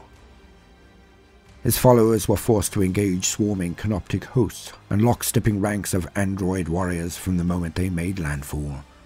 While on Paradis 4, a hard core of anti-gravitic Xenos war engines wrought havoc amongst the first wave of Astra Militarum drop troops, until several engines of the Legio Invicta could be deployed to eradicate the threat. As they pressed deeper into what remained of Stormvor's grand strategic fortress, the Aegis fleets encountered both increasing Necron resistance, but also the entrenched remains of those who had so long held out against the alien androids. At Vorshepta and Shentai, Astrokor and the intact stations encircling the Vorlian anomaly, further bastions of the Imperial forces were brought back into the fold. The men and women who defended these worlds and facilities had survived multiple attacks over an excruciatingly extended period all while their ranks and morale alike withered in the grip of the stilling. Only the Space Marine forces encountered by the Aegis fleet showed little physical exhaustion, though their armor was without exception chipped, scored, blackened, and cracked, a mute witness to their endurance. These survivors had thrown back black-limbed horrors attacking in the dark of the night, marching Xenos legions under blazing Paradis star and aerial assaults by droning masses of insectile construct. all while the numbing grind of the Nephilim anomaly had worn at their resolve. Yet neither it nor the Necrons had broken them. Many Aegis fleets suffered terrible casualties in battle with the Necrons they encountered. Aegis fleet Tereshant at Zydos and Aegis fleet Krang at the edge of the Vorlian anomaly were wiped out by huge hosts of the android Xenos. Others were forced to withdraw from the worlds they had come to reinforce, before having had a chance to fully reinforce them. Their masters viewed safeguarding their own armies and resources for an attempt elsewhere as a logical preference. Most, though, dug in. They poured ever more industrial assets onto the worlds to complete the fortifications, even as their forces, supported by any survivors, attempted to hold back intensifying attack waves from multiple Necron dynasties. The Stormlord strike. The Accretion fleets had pushed deeper into the Nephilim subsector. They sought Noctilith deposits, already marked on data charts, as well as searching out new ones in systems whose names had, in some cases, been redacted from Imperial records. They also encircled more of the anomaly's periphery, heading to the galactic west and south. This frequently brought the ships of Battlegroup Hephaestus into contact with predatory Necron fleets belonging to the Mephrite and Nihilak dynasties. Some of the Xenos already occupied Quarry worlds and, to the tech priest's concern, appeared to be extracting the Noctilith themselves. Other Necron forces belonging to the aggressive Novokh dynasty descended on the Accretion fleet's forces as the tech priest Noctilith harvesters extracted the black mineral. The Necron's attacks upon the Accretion fleets bordered on the monomaniacal. Be it the fleets of Imperial void ships that held station above recaptured quarry worlds, the ground forces they had landed to defend the extraction efforts, or indeed, the engines and personnel engaged in the quarrying itself. It seemed as though the Xenos wished to annihilate them entirely. Conversely, however, beleaguered Aegis fleets operating in the Vertigus and the Zeta 8 Hesper systems saw their android foes suddenly and completely abandon such efforts mid-battle. During heavy fighting against Szarekhan legions on Tharia, Magos Ordinatus Zedovia was on the verge of ordering auto-destruct arms to be triggered aboard her precious Ordinatus engine, rather than let the ancient artifact fall into the hands of inquisitive crypteks even as sheets of gauss energy crackled above the Ordinatus's blazing flanks, and the wounded Magos made preparations to immolate her engine and the foe alike, the bombardment abated. Stuttering reports from across the quarry reported Szarekhan phalanxes abruptly retreating as though at some silent signal. The Xenos left only marauding packs of destroyers and flayed ones to menace the shattered Imperial lines, and cover the retreat of the core dynastic soldiery. Eerie green beams of energy reached down from low orbit and raised the Necrons whenever they touched them, teleporting them away en masse. In the minutes before the tomb ships in orbit also turned about and sped from the system's edge. Magos Zedovia slumped in her command throne, bewilderment and relief churning within her as reports flitted in of one zone after another secured and free from Xenos taint. No explanation would come from this miracle, but in its wake the Noctilith mining efforts amidst the ruins of Tharia were soon back to full efficacy. This was a scene that repeated in various permutations across almost a dozen fronts within the Nephilim anomaly. The pattern took time to reveal itself, for it was still difficult for individual Imperial fleets to compare notes, Yet eventually, Archmagos Cawl, hunched over a data lectern within the strategium of the Zar-Quaesitor, began to craft a hypothesis from the scraps of intelligence he had accrued. The Archmagos' personal task force had descended on a Vertigus system to the galactic north. Here, his armies of Skitarii fought ambushing Necrons amidst the mining communes of Vertigus II, while his warships did battle with those of the Xenos in the cold void. The situation on Vertigus 2 deteriorated rapidly, as phalanx after phalanx of Necron warriors, immortals, and stilt-legged war engines appeared from shimmering portals, marched from rents in the planet's crust, or stalked from mine entrances lit by eerie emerald fire. Overseeing the battle from on high, Cawl was prepared to drop reserves of Iron Hand Space Marines and House Taranis Knights into the fray planetside when a second Necron fleet arrived in the system without warning. Legions of marching androids poured onto the planet from flickering beams emitted by soaring Necron aircraft or stepped from hovering slab-sided war machines. Yet these newly arrived Xenos, who displayed differing heraldry from those on Vertigus II thus far, proceeded to ignore the Imperial forces entirely. They instead engaged the android legions that had, until that point, had been threatening to overrun the Archmagos' armies. Seizing his opportunity, Cawl issued a swift string of astute strategic directives. Explorator vessels fired their drives and swept onto new attack vectors, arcane batteries hammering the flanks of battling Necron vessels. Maniples of Warhound Titans loped out onto the attack, raking their fire through clashing Necron phalanxes, even as the Imperial Guard tank formations and formations of Martian cavalry surged in to shatter suddenly wavering enemy battle lines. Over several hours of ferocious fighting, the two opposing Necron forces utterly undermined one another's strategic positions and, harried by efficient Imperial counterattacks, were forced to disengage. Some of the Xenos vanished back through dolmen gates, while others fell back below the planet's surface, with rival Necrons still harrying them down into the darkness. By the time the last Necron forces had vanished from Vertigus II's combat zones, Cawl had thoroughly analyzed the heraldic markings and strategic maneuvers of the rival Necron forces and cross-referenced them against vid captures from elsewhere in the Nephilim anomaly. Sure enough, he found repeating patterns and the beginnings of what appeared to be divided loyalties amongst the android Xenos. There was, Cawl concluded, some manner of alien civil war taking place within the Nephilim subsector. Now he had only to determine how best to exploit it.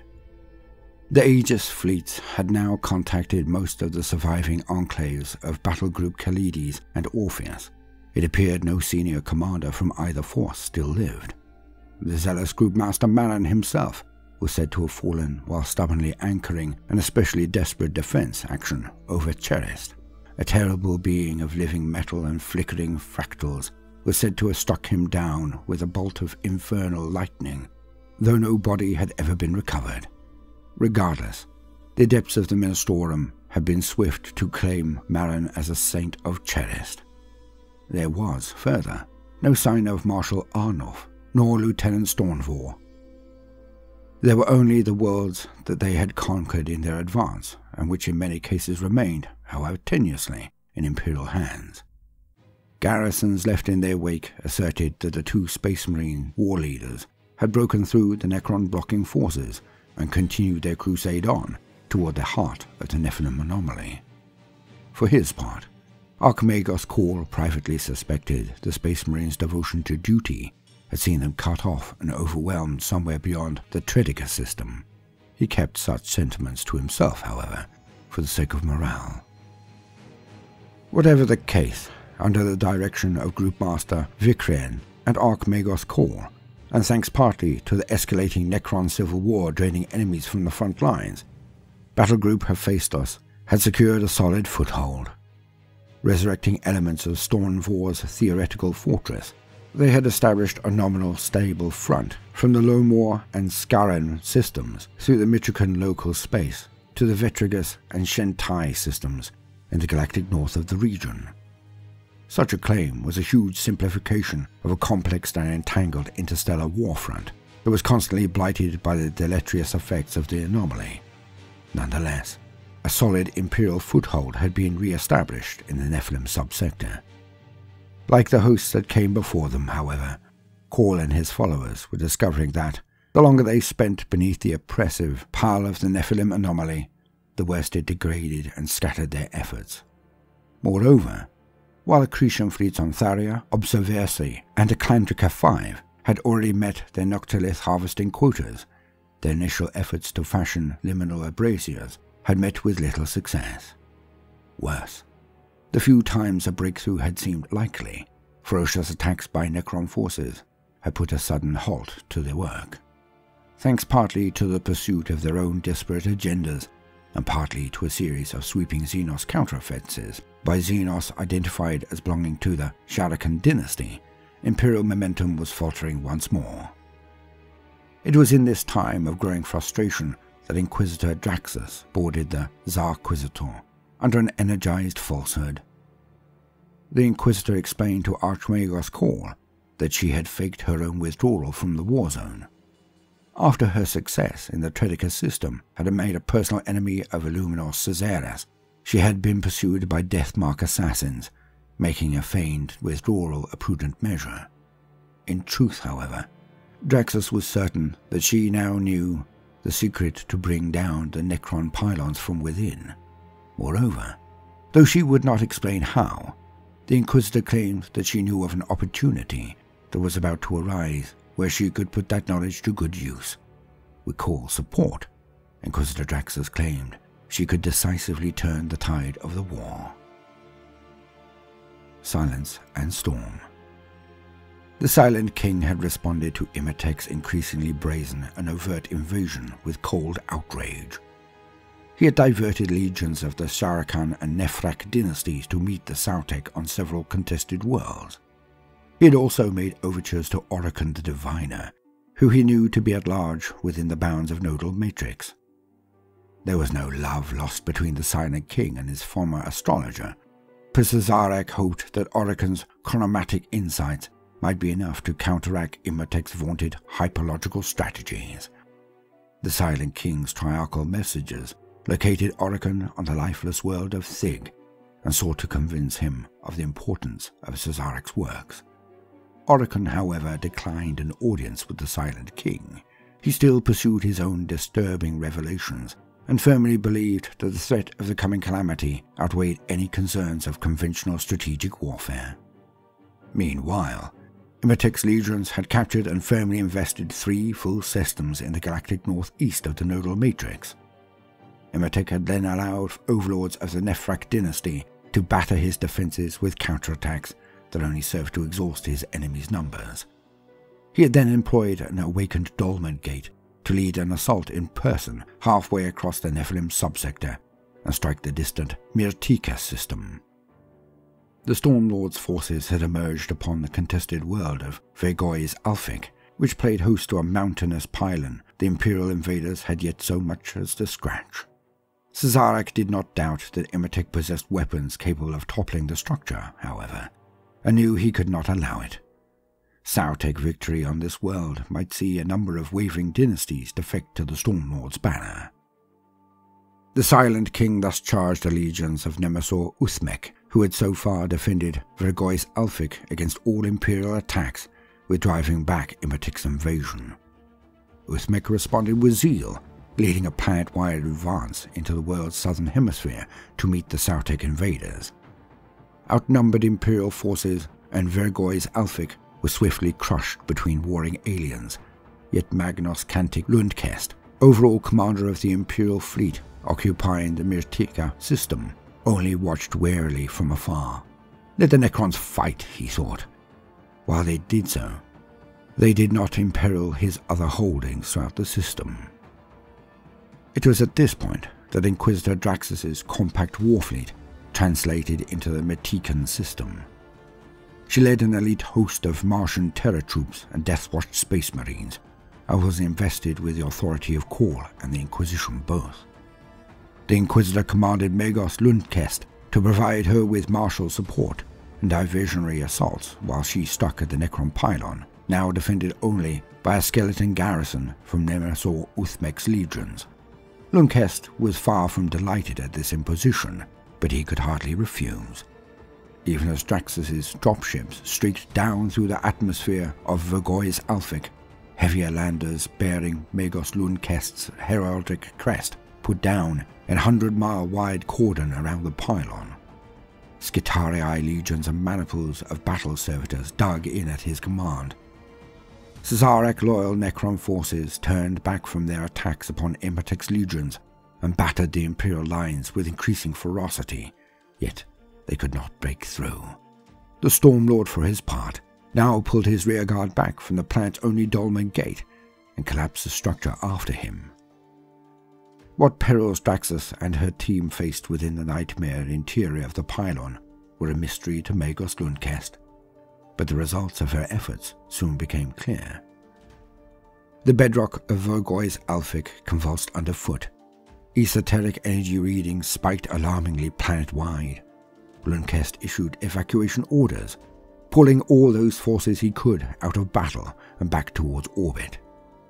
His own ornate lander was powered up through the troposphere when the Magos saw the Necron pylon collapse into a star-bright singularity then detonate with enough fury to blast away the planet's atmosphere in tatters. Vogoy's Alphic was cracked all the way to its molten core by the fury of the detonation. Imperial losses were considerable, yet those suffered by the Nemesor Uthmek were far worse, for, without the Dolmen Gate to escape through, almost all were trapped and slain. Having barely escaped the surface with his life, Magos Lundkest was somewhat curt in responding to the Inquisitor Draxus's brief vox missive of thanks for his aid. The Inquisitor had escaped, he knew not how, and was even now setting a course for the system's Mandeville Point. She had felled a pylon, albeit at great cost. It seemed a decisive blow in the favor of the Imperial forces. At that moment, though, none present could truly appreciate the new and terrible phase of escalation Draxus's actions would soon bring to the war in the Nephilim anomaly. Overlord Akthamec strode imperiously towards the Imperial positions. The humans had dug in amongst the last crumbling ruins of a once formidable line of fortifications that studded the valley's southern slope. Akthamec's Sautekh Legion advanced across the valley floor towards them under a ceiling of slate-grey cloud. They waded shin-deep through muddy water, the product of the long-neglected dam at the valley's north end, having ruptured some days before. Such conditions did not trouble Akthamec. The android bodies of the Necrons were not like the primitive technologies of the lesser species, and suffered no ill effects from wading through water. The situation was, however, somewhat suboptimal. Akthamec was moving at the heart of his phalanx, his Lich Guard arrayed around him, with their dispersion shields angled to protect him. He and his bodyguards inhabited powerfully built and diligently maintained bodies that pushed through the water's resistance with ease. The same was not so true of the ranks of warriors spread out ahead and to either side though Akthamec's foot soldiers forged on as best they could at his command. The shambling gait was exacerbated by the water and the sucking mud of the valley floor. Akthamec and his elites were forced to slow their own pace to match the laboring warriors, much to his impatience. All the while, fire rained down from the human positions on the southern slope. The blocky structures of their fortifications might be half collapsed and thick with rust and fern breaks, yet the solid mass of them still served to soak up all but the heaviest Necron firepower. Akthamec had to accept that the humans, for all their primitive nature, were making good use of their position. They had dug artillery pieces into the best protected areas of the slope, and were dropping volleys of rockets onto the Necron ranks with an irksome degree of accuracy. Their foot soldiers, meanwhile, had entrenched themselves with good fields of fire across the valley and seemed to possess ample firepower. Most peeving of all from Akthamec's position was the presence of a band of what he believed the humans called Space Marines. Clad in armor of cobalt blue and wielding potent sidearms, the hulking warriors had already hurled back the first of Akthamec's warriors to gain the southern slopes, and were even now attempting to single him and his Lich Guard out with their potent firepower. Akthamec had envisioned a swift and glorious march to victory against what he had assumed were bedraggled victims cowering in their last bolt hole. This was to have been a clean and merciful execution. He allowed now that he might have underestimated his foe. The Overlord's mood was not improved by the sensation of Kapotec's baleful gaze boring into the back of his head. The Plasmancer had been only too keen before the battle commenced to test his newly invented thermogravitic annihilator arrays on the humans. Akthamec, a firm believer in the triarchal codes of honor and adherent to the edicts of the Silent King, had forbade the use of such grotesque and to his mind dishonorable overkill. From the raking blasts of plasma fire that Kapotec kept hurling with such venom towards the humans' positions, Akthamec suspected the Plasmancer was feeling more than a little aggrieved about the whole business. Akthamec was hardly delighted himself. He would have preferred not to suffer such losses against so paltry seeming an enemy, for he had committed to his position now, and to relent without good cause would be unseemly. Instead, Axamec raised his staff of light, striking a suitably noble pose, and issued a string of protocol imperatives. Lowly bond serfs of the glorious dynasty are to disperse their formation, the better to confound the unworthy efforts of the foe. Press the attack on all fronts, and without relent. Such is your master's decree. Kapatek, the Emolia Triarch of Tekhan, most valued counselor to the master of the glorious dynasty, is to focus his wrath upon the feeble and cowardly artillery positions of the foe. Such is your master's decree. Swift chariots of cosmic conquest, poised amidst the firmament, awaiting only your master's bidding. Know the command is now given. Descend in wrath resplendent, and punish his foes for their ignorance and misplaced defiance. Such is your master's decree. With his protocols issued, Axomech gestured to his Lich Guard to commence their advance again. Satisfaction, tingling with anticipation, replaced the annoyance of a moment before.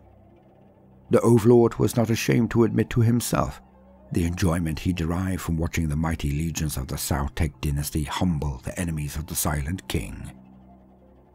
For a few moments, the fight continued much as it had before. The Necrons waded relentlessly through the waters and raked the enemy positions with gauss fire. The humans returned fire and sent geysers of flame and water leaping high with the detonations of their artillery barrages. Then came the rising scream of anti-gravitic actuators, heralding dark shapes that dropped with suicidal speed through the roof of cloud above the battlefield.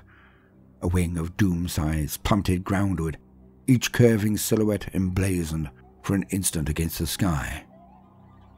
Behind them streaked a swarm of tomb blades, their shadow looms making them look as though each trailed a tattered death shroud. Enemy fire tracked up, seeking to knock these newcomers from the skies, but Aktomech was satisfied to see their efforts falling pitifully short. Few creatures of flesh and blood could have endured the G-forces incurred as a Necron attack craft pulled up then hurtled in fractal attack vectors across the flooded valley. Fans of water rose in their wakes as Axamek's chariots of cosmic conquest shot low over his foot soldiers and commenced their attack run. A crimson glare danced across the water and glinted in the eyes of Axamek's foot soldiers as the Doom Scythes fired their death rays. The energy beams tore up the valley slope and ripped through fortified structures causing them to explode like fragmented shells. Human bodies were hurled through the air or briefly picked out as blackened stick figures that scattered in ashes an instant later. Aximic's peerless visual acuity captured every satisfying detail in a clarity no organic organ could match. Even as the Doom Scythes swept up and away to loop around for another run, so the tomb blades hurtled into the attack. Axamek's enjoyment was marred only a little as the enemy space marines, cursed may they be, directed a ferocious volley into the light attack craft and punched several from the air. One tomb blade spiraled into a bunker wall and detonated into a geyser of green flame. Another cartwheeled madly up the hill before slamming into a boulder with terminal finality. The remainder, however, swept over the humans' positions and bathed them in arcing lightning as they went. Axamech, whose front ranks of warriors were now trudging, dripping out of the mire, felt a flush of triumph. Surely the closing moments of the engagement were at hand. Then came another howl of engines, their rough timber unmistakably the product of human artifice. Perfect visual clarity, Axamech reflected, was less of a blessing when it showed him a trio of enemy aircraft hurtling up the valley and pummeling his vaunted chariots with fire. A Doom Scythe erupted in midair, its ragged carcass tumbling away to slam into the north slope of the valley. Another was clipped and forced to disengage, wheeling off in a drunken arc with emerald smoke billowing from its fuselage. The third evaded as enemy strike craft, plated in the same cobalt armor as the Space Marines, raced past. It performed a lightning fast wing over and dropped in behind their formation, Tesla destructors spitting bolts of lightning. The dog-fighting aircraft hurtled over the rim of the valley and were gone. With the immediate aerial threat removed, the humans rallied. Their zeal was, in Athamek's opinion, becoming gauche.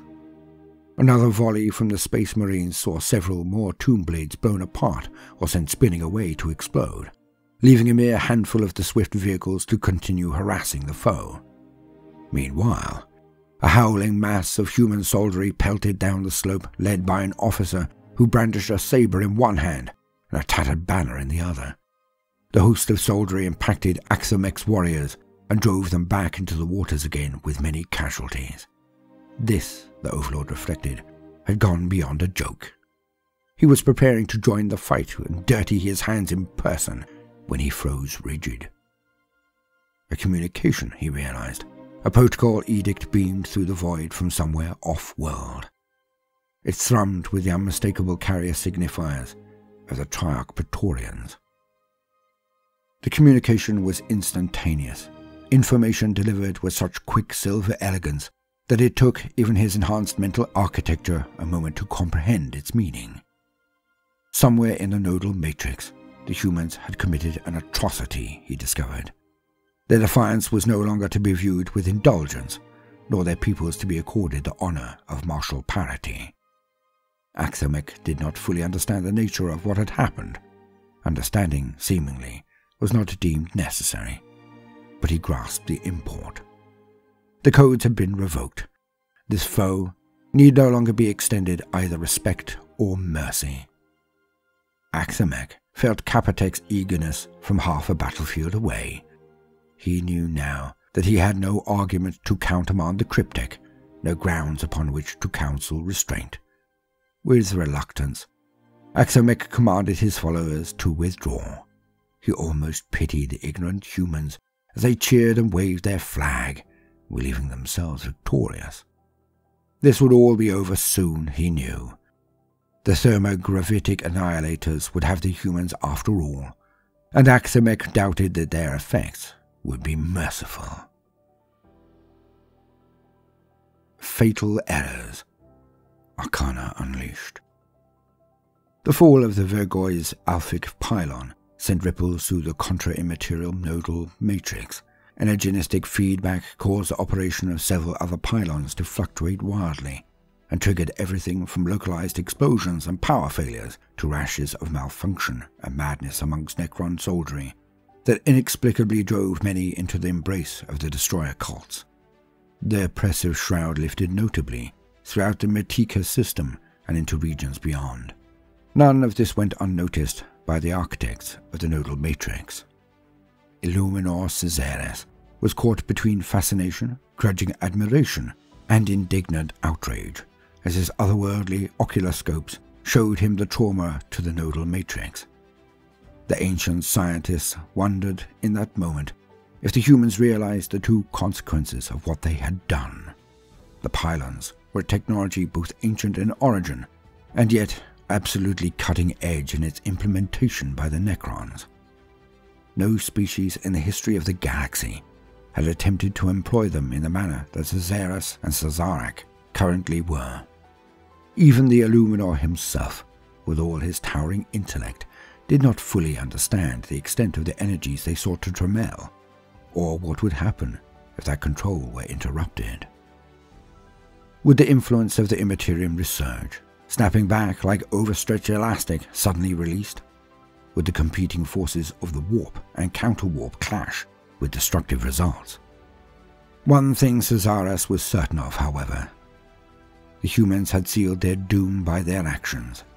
Until this moment, the Silent King had been content to treat these interlopers with the same mingling of honor and disdain that he approached the populations of orcs, kin, and other such flesh and blood aliens still fighting to resist within the boundaries of the nodal matrix they were enemies, certainly, but they were also a part of the experiment and, perhaps, the solution of reversing biotransference. Furthermore, with the extent of the one unfortunate incident in the Tredica system, they had proven ultimately incapable of causing serious damage to the Silent King's plans. Szarekh was glad of suitably tenacious and capable enemies to test his legions against, as long as they presented no threat to the pylons themselves. That, it seemed, was no longer the case. Thus, just as Illuminor Szeras knew he would, the Silent King soon issued a new decree that echoed to the farthest corners of the Nephilim sector. The humans fighting in this region, the humans fighting in this region, had engaged in a dishonorable act of grand sabotage, and might well be capable of doing so again. By this act, they had proven themselves unworthy of the triarchal codes of honorable combat. This was no longer a war. Now it was an extermination, and one in which no weapon or technology was to be considered taboo, provided it brought swift victory and safeguarded the continued expansion of the nodal matrix. The technomandrites fighting under Szarekh's banner did not trouble themselves to conceal their delight at this announcement. Szeras himself was scarcely less gleeful, and nor were many of the crypteks and overlords who had thus far held back the most terrifying weaponry in their arsenals in the name of decency and honour. No longer would they be so constrained. The humans were about to discover the true and terrible might of the ancient beings with whom they had chosen to war. The Omnissiah's gift.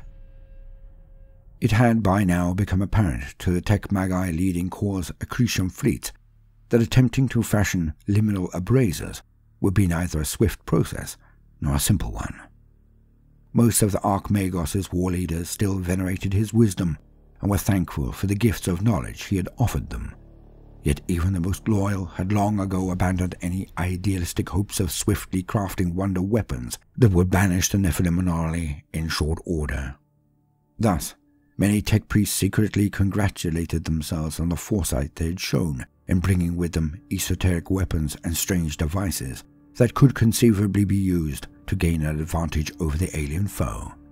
Indeed, so pleased with themselves were the tech clergy, and so secretive in their habits, that few amongst them realized the extent of the perilous treasure trove they had amassed, nor interrogated their motivations for doing so. It was not unusual, after all, for the servants of the machine god to make use of his bounteous gifts. Yet, had they realized it, even the most obtuse amongst Cawl's followers would have been surprised to learn that they had, between them, brought an arsenal of ancient weapon technologies greater and more terrible than any wielded by any single other Indomitus Crusade battle group. Among these terrible treasures were some of the fabled war engines of the Centurio Ordinatus, colossal super heavy weapons platforms mounting unique energy cannons or legendary artillery batteries. Other tech priests had acquired arcane explosive devices, vats of alchemical corrosives, artifacts that supposedly initiated geoforming catastrophes, or manipulated the fundamental forces of the galaxy. All of these ancient mechanisms and technologies were precious beyond measure. Many were also forbidden by autoscripture or even deemed heretical. Yet in each case, those magi who had spirited the weapons out of code locked vaults or committed veiled acts of espionage and violence to secure them would have sworn that they did so in good faith. Some felt that they had been moved by the spirit of the Omnissiah itself. Others had performed lengthy strategic cogitations whose conclusions had been inescapable. Once beyond the veil of the silent zone, they would have need of archaeotechnological superweapons, prescribed or no. Those who had brought such terrible devices to the Nephilim anomaly kept them safe in multi-warded chambers aboard their flagships, or in the case of those deemed too hazardous, in thickly shielded tender barges on the fringes of their fleets. They also kept them secret, certainly from the likes of Archmagos Cawl and the tech clergy of any other fleet in the battle group, but also from as many of their peers as was practical. Still, Rumour tinged the noospheric information cloud surrounding the fleet's Adeptus Mechanicus vessels. The names of devices such as the Yoctoparticulate Crucible, Dvorel's Necrogastigrax, and the Cyclofox Determination were whispered with mingled awe and unease. The first indication of the havoc such devices would unleash came when the Lomos system was subjected to a fresh Szarekhan onslaught. Powering arrogantly into the system aboard a fleet of tomb ships, the Necron invasion force was amongst the largest deployed since the first counterattacks against battle group Kalides.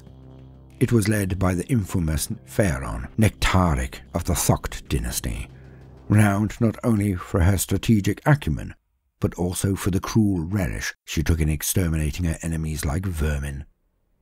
Crucially, amidst her coterie of advisers were a trio of technomandrites known as the Eyes of the Void. These immoral cosmic engineers had furnished Nectaric with further technological horrors to augment her already nightmarish personal armory, and they were only too eager to see them unleashed upon the human interlopers. Staying clear of Cherist's formidable orbital defenses, Phaeron Nectaric instead deployed invading hosts to the surface of the neighboring world of Turantis. Though the Stilling had long since reduced the planet's population centers to haunted ruins, Still, it boasted the most sizable Astra Militarum garrison in the system, as well as several Munitorum supply depots of massive size. The Phaeron intended to show the defenders of Cherist what was coming for them by first making an example of Turantis' defenders. Nectaric unleashed the full fury of her stable of ancient war engines and gave the eyes of the void free rein from the off. Doomstalkers picked their way through the war-torn streets of Turantis' hive, towering over the advancing Necron soldiery and unleashing the cosmic energies of experimental weaponry upon the hapless Astra Militarum defenders. Hundreds of human soldiers were blasted into carbonized statues, reduced to their component atoms, or tattered apart like screaming clouds caught in a hurricane's winds. The Aquilitas spaceport fell to a spearhead thrust by Doomsday Arks and Seraptek heavy constructs coupled with the dimensional raiding party of Hexmark destroyers who emerged within the port's subterranean bunker complex and slaughtered every Imperial officer trapped there. Even the warlord Titan, Dracos Apocalyptor, was laid low after being confronted with a trio of Tesseract Arks as it sought to retake the Herald's Bridge over the River Purgus answering increasingly frantic calls for aid. Two entire Aegis fleets sped from void anchorages at the system's spineward edge to reinforce Turantis.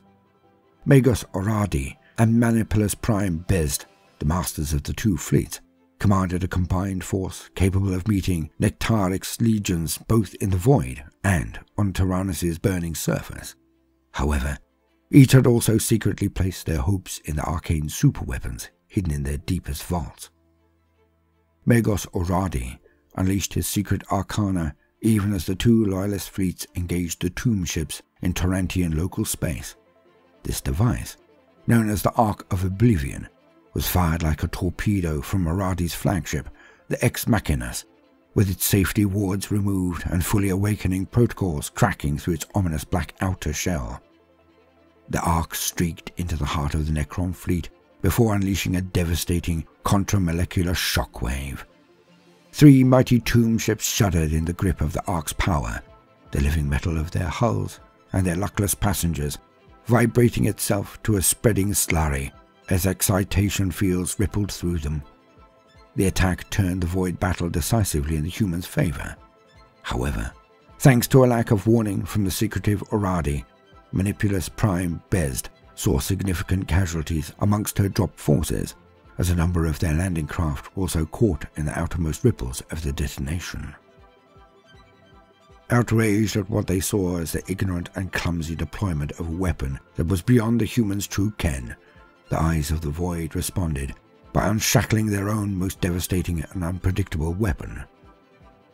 Through processes unknown beyond the technomandrite cabals, they had splintered a shackled shard of Lash Udra and bound its energistic fragments into a thousand strong swarm of canoptek constructs that they now unleashed. Burning with Geist like energy, shuddering in and out of sync with reality, the ravening swarm overran several beleaguered Astra Militarum regiments before sweeping down upon the drop sites where Manipulus Prime Bezd's landing parties were still attempting to reorder their strength the constructs brought with them. Their mechanoid chittering echoed within the minds of their victims even as those same doomed warriors felt their consciousness dividing into fractal compounds. Soon, they could not tell if they looked through their own eyes or those of the horrors attacking them, and Skitarii turned upon Skitarii in nightmare combat. Rather than endure such a hideous fate, Bezd resolved to unleash her own secret weapon of the Omnissiah. None beyond the Manipulus Prime and her inner circle would ever know the true nature of this device, however. For the moment its empyric baffles were lowered, its ancient power source reacted in unexpected ways to the powers of Lash Lashudra. The result was a silent orb of steadily expanding darkness, dancing with blue-white skeins of energy and churning with myriad suggestions of somehow insectile movement that consumed Bezd and her maniples in a matter of minutes. The unleashed calamity did not stop there. The orb of darkness continued to grow, swallowing up first the armies warring around it, then hundreds of miles of Tyrannus' surface. Humans and Necrons alike died fighting as the darkness swept over them, or else fled before the annihilating energies in the hopes of outrunning them. By the time the orb finally stopped growing and vanished like a popped bubble, it had erased a third of Tarantus's mass, along with countless billions of living organisms. In its wake, it left a ravaged planet tumbling out of its orbitary trajectory. The evacuated and shell-shocked remnants of once mighty armies, and a plague of nightmares and strange visions that would bedevil the remaining inhabitants of the Lomor system long after the Szarekhan offensive ground to a close. The nightmarish conclusion to the Tarantian campaign repeated in myriad forms across the Nephilim subsector. Apocalyptic reprisal followed unleashed atrocity as martial scientists and engineers of destruction on both sides sought to bring the war to a decisive end.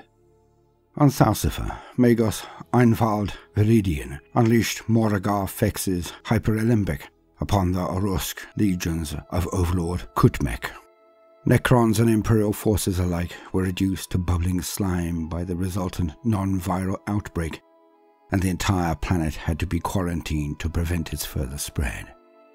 In the Zon system, a concerted Imperial push upon the void-born Necron pylon triggered a massive naval engagement that was, in turn, thrown into chaos by the efforts of a cabal of Szarekh's plasmancers. The bound dwarf star they propelled into Imperial Navy formations wrought catastrophic damage and killed billions in minutes.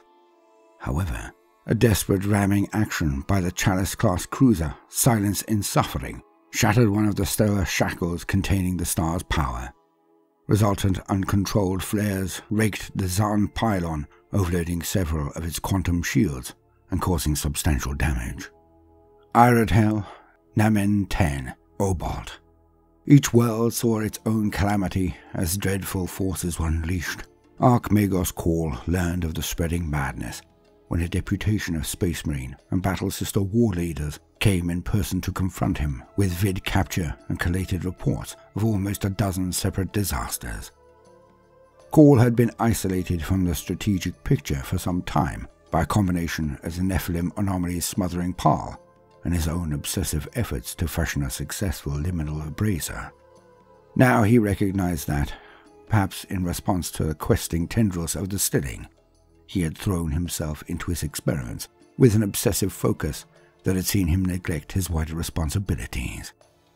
The Archmagos issued an immediate command decree intended for every Imperial commander and Tech Magos in the war zone Cawl commanded that no further gifts of the ominous Omnissiah were to be unleashed without full understanding and his explicit authorization. Yet the Nephilim anomaly remained as difficult to navigate or force messages through as it had been since the campaign's beginning. The Archmagos' commands were slow to spread, especially to more isolated fleets.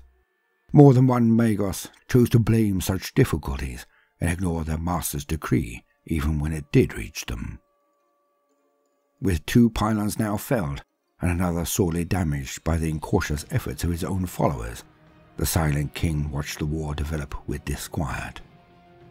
The lie had been put to the inviolability of his contra-immaterial nodal matrix. the Stormlord continued to make territorial gains to the galactic north and east of the region, and, to Szarekh's disgust, appeared to be leaving the humans to their own devices in favor of pursuing his civil war. Szarekh recognized the disquiet amongst the dignitaries and war leaders of his court. His triarchal advisers were bound to obey him by ancient codes, but could not disguise their disquiet at the dishonorable weapons the Silent King had unleashed. On the other hand, the Technomandrite's displeasure became more pronounced with every Necron defeat by what they saw as inferior human technologies. Some overlords petitioned to be allowed to turn their force against the upstart Cesarkans and their allies, while others already assigned the duty complained that they yearned to exterminate the human infestation. Szarekh knew that he needed a clear and decisive victory over at least one of his enemies, both to take pressure off his military forces and to silence the dissenting murmurs on the political front. After long deliberation, he chose the human threat as his priority. Crush them, Szarekh reasoned, and he would be freed to turn his attention upon Imotekh. He doubted that the Stormlord's more fair-weather supporters would remain loyal for long, with the full might of the loyal Necron forces bearing down upon them. To this end, Necron legions throughout the Nephilim subsector advanced on every Imperial-held system, compromising Stormvor's fortress. Huge fleets of Szarekhan, Nihilak, and Orusk tomb ships intercepted far-ranging accretion fleets in the deep void after the Imperial ships were forced by the anomaly to crash translate back into real space. Freshly bolstered Imperial worlds in the Mirtika and Shentai systems were invaded once more by dynasties loyal to the Silent King, their pharaohs seeking to achieve swift and crushing victories over the humans, using whatever weapons were necessary. Cryptek hyperscience now came to the forefront of the conflict like never before. Necron forces across the Nephilim subsector activated and deployed the most powerful and often the most unstable and hazardous artifacts at their command. Cryptek's allied to the Silent King were urged to cripple or annihilate human resistance with speed, regardless of the cost in catastrophic collateral damage to continents, planets, stars, or entire systems. Devices were unleashed that uncoiled graphitic ribbons thousands of miles long, like titanic whips, the hypercharged planetary crusts into electrifying terminals, that fragmented or flattened mountain ranges with magnetoplasmic beams, or loosed howling gales of planar slivers to flay armies down to atoms.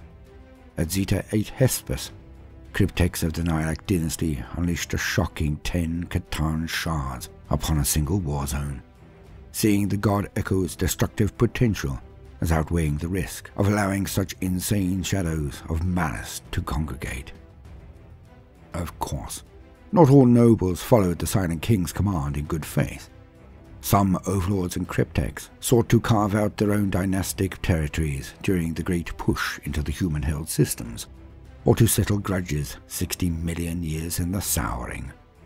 Others, afflicted by personal degradation and hibernation madness, fought whatever foes their comprised senses showed them, or unleashed their arsenals of cosmic weaponry in random and reckless fashion. Only Imotekh and his legions refrained from joining in their escalating arms race that now racked the nodal matrix. The Stormlord, instead, withdrew forces from some locations and fortified others, watching and waiting to see what would occur. The Scarran Breach on multiple fronts across more than a half dozen planetary systems. Cataclysmic hyper-technological war raged. The Imperial defenders were rocked onto their heels by the force of the Necron's onslaught, wrestling with the ongoing hardships of distilling, even as the conflict demanded new reserves of quick thinking and determination from them. Overwhelmed commanders were driven to increasingly desperate measures to maintain the fracturing integrity of Stormvor's fortress. Never had the effect of the nodal matrix worked more in the favor of the Necrons. Untroubled as they were by its smothering shroud, employing quantum communications across interstellar distances, the Xenos coordinated their legions as a single, if somewhat ponderous, army.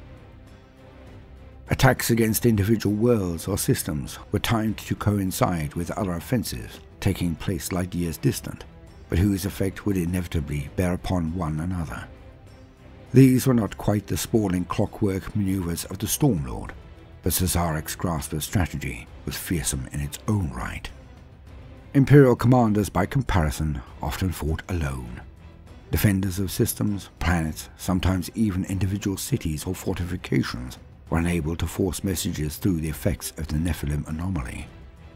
Where before these issues could be ameliorated, to some degree at least, by swift messenger frigates, now the danger was too omnipresent and developing too swiftly to allow such lag.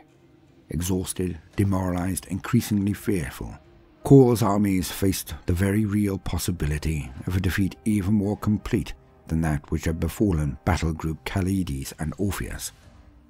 Rather than countenance defeat, many cast aside the Archmagos' edict and turned to the superweapons of the Adeptus Mechanicus. Yet worn down and rendered fallible as they were, those who wielded such dimly understood technologies were more likely than ever to make fatal errors in their deployment. They were also less able to discern the rash of disturbing omens and strange visions that beset them during these desperate days, as being phenomena in their own right than the ongoing effects of the anomaly. Matters finally came to a head in the Scarran system.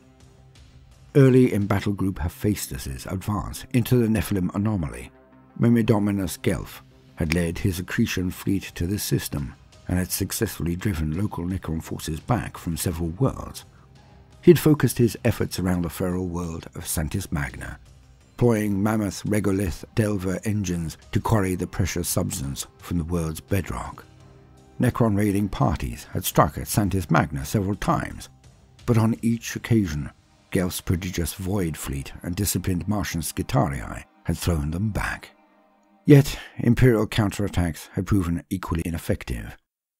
The Necrons had a pylon in the Scarran system, a monstrous thing that pierced the moon of Scarran's coil from pole to pole. It and the asteroidal masses grav-tethered into its orbit had all been heavily fortified and resisted any Imperial efforts at invasion. Thus, though the Myrmidominus's labours had seen an impressive quota of Noctilith harvested and the beginnings of Liminal Abrasor taking shape, he had been unable to prevent the Necrons or the cruel effect of their pylon wearing away at his mind and maniples both. In the cycles leading to the Silent King's massed onslaught, Gelf and his underlings experienced increasingly unsettling manifestations.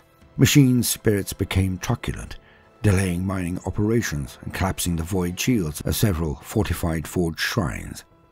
Servitors suffered grotesque seizures and jabbered nonsensical mathematical equations that seemed to recur with viral tenacity in the mnemocircuitry of any tech priest that heard them.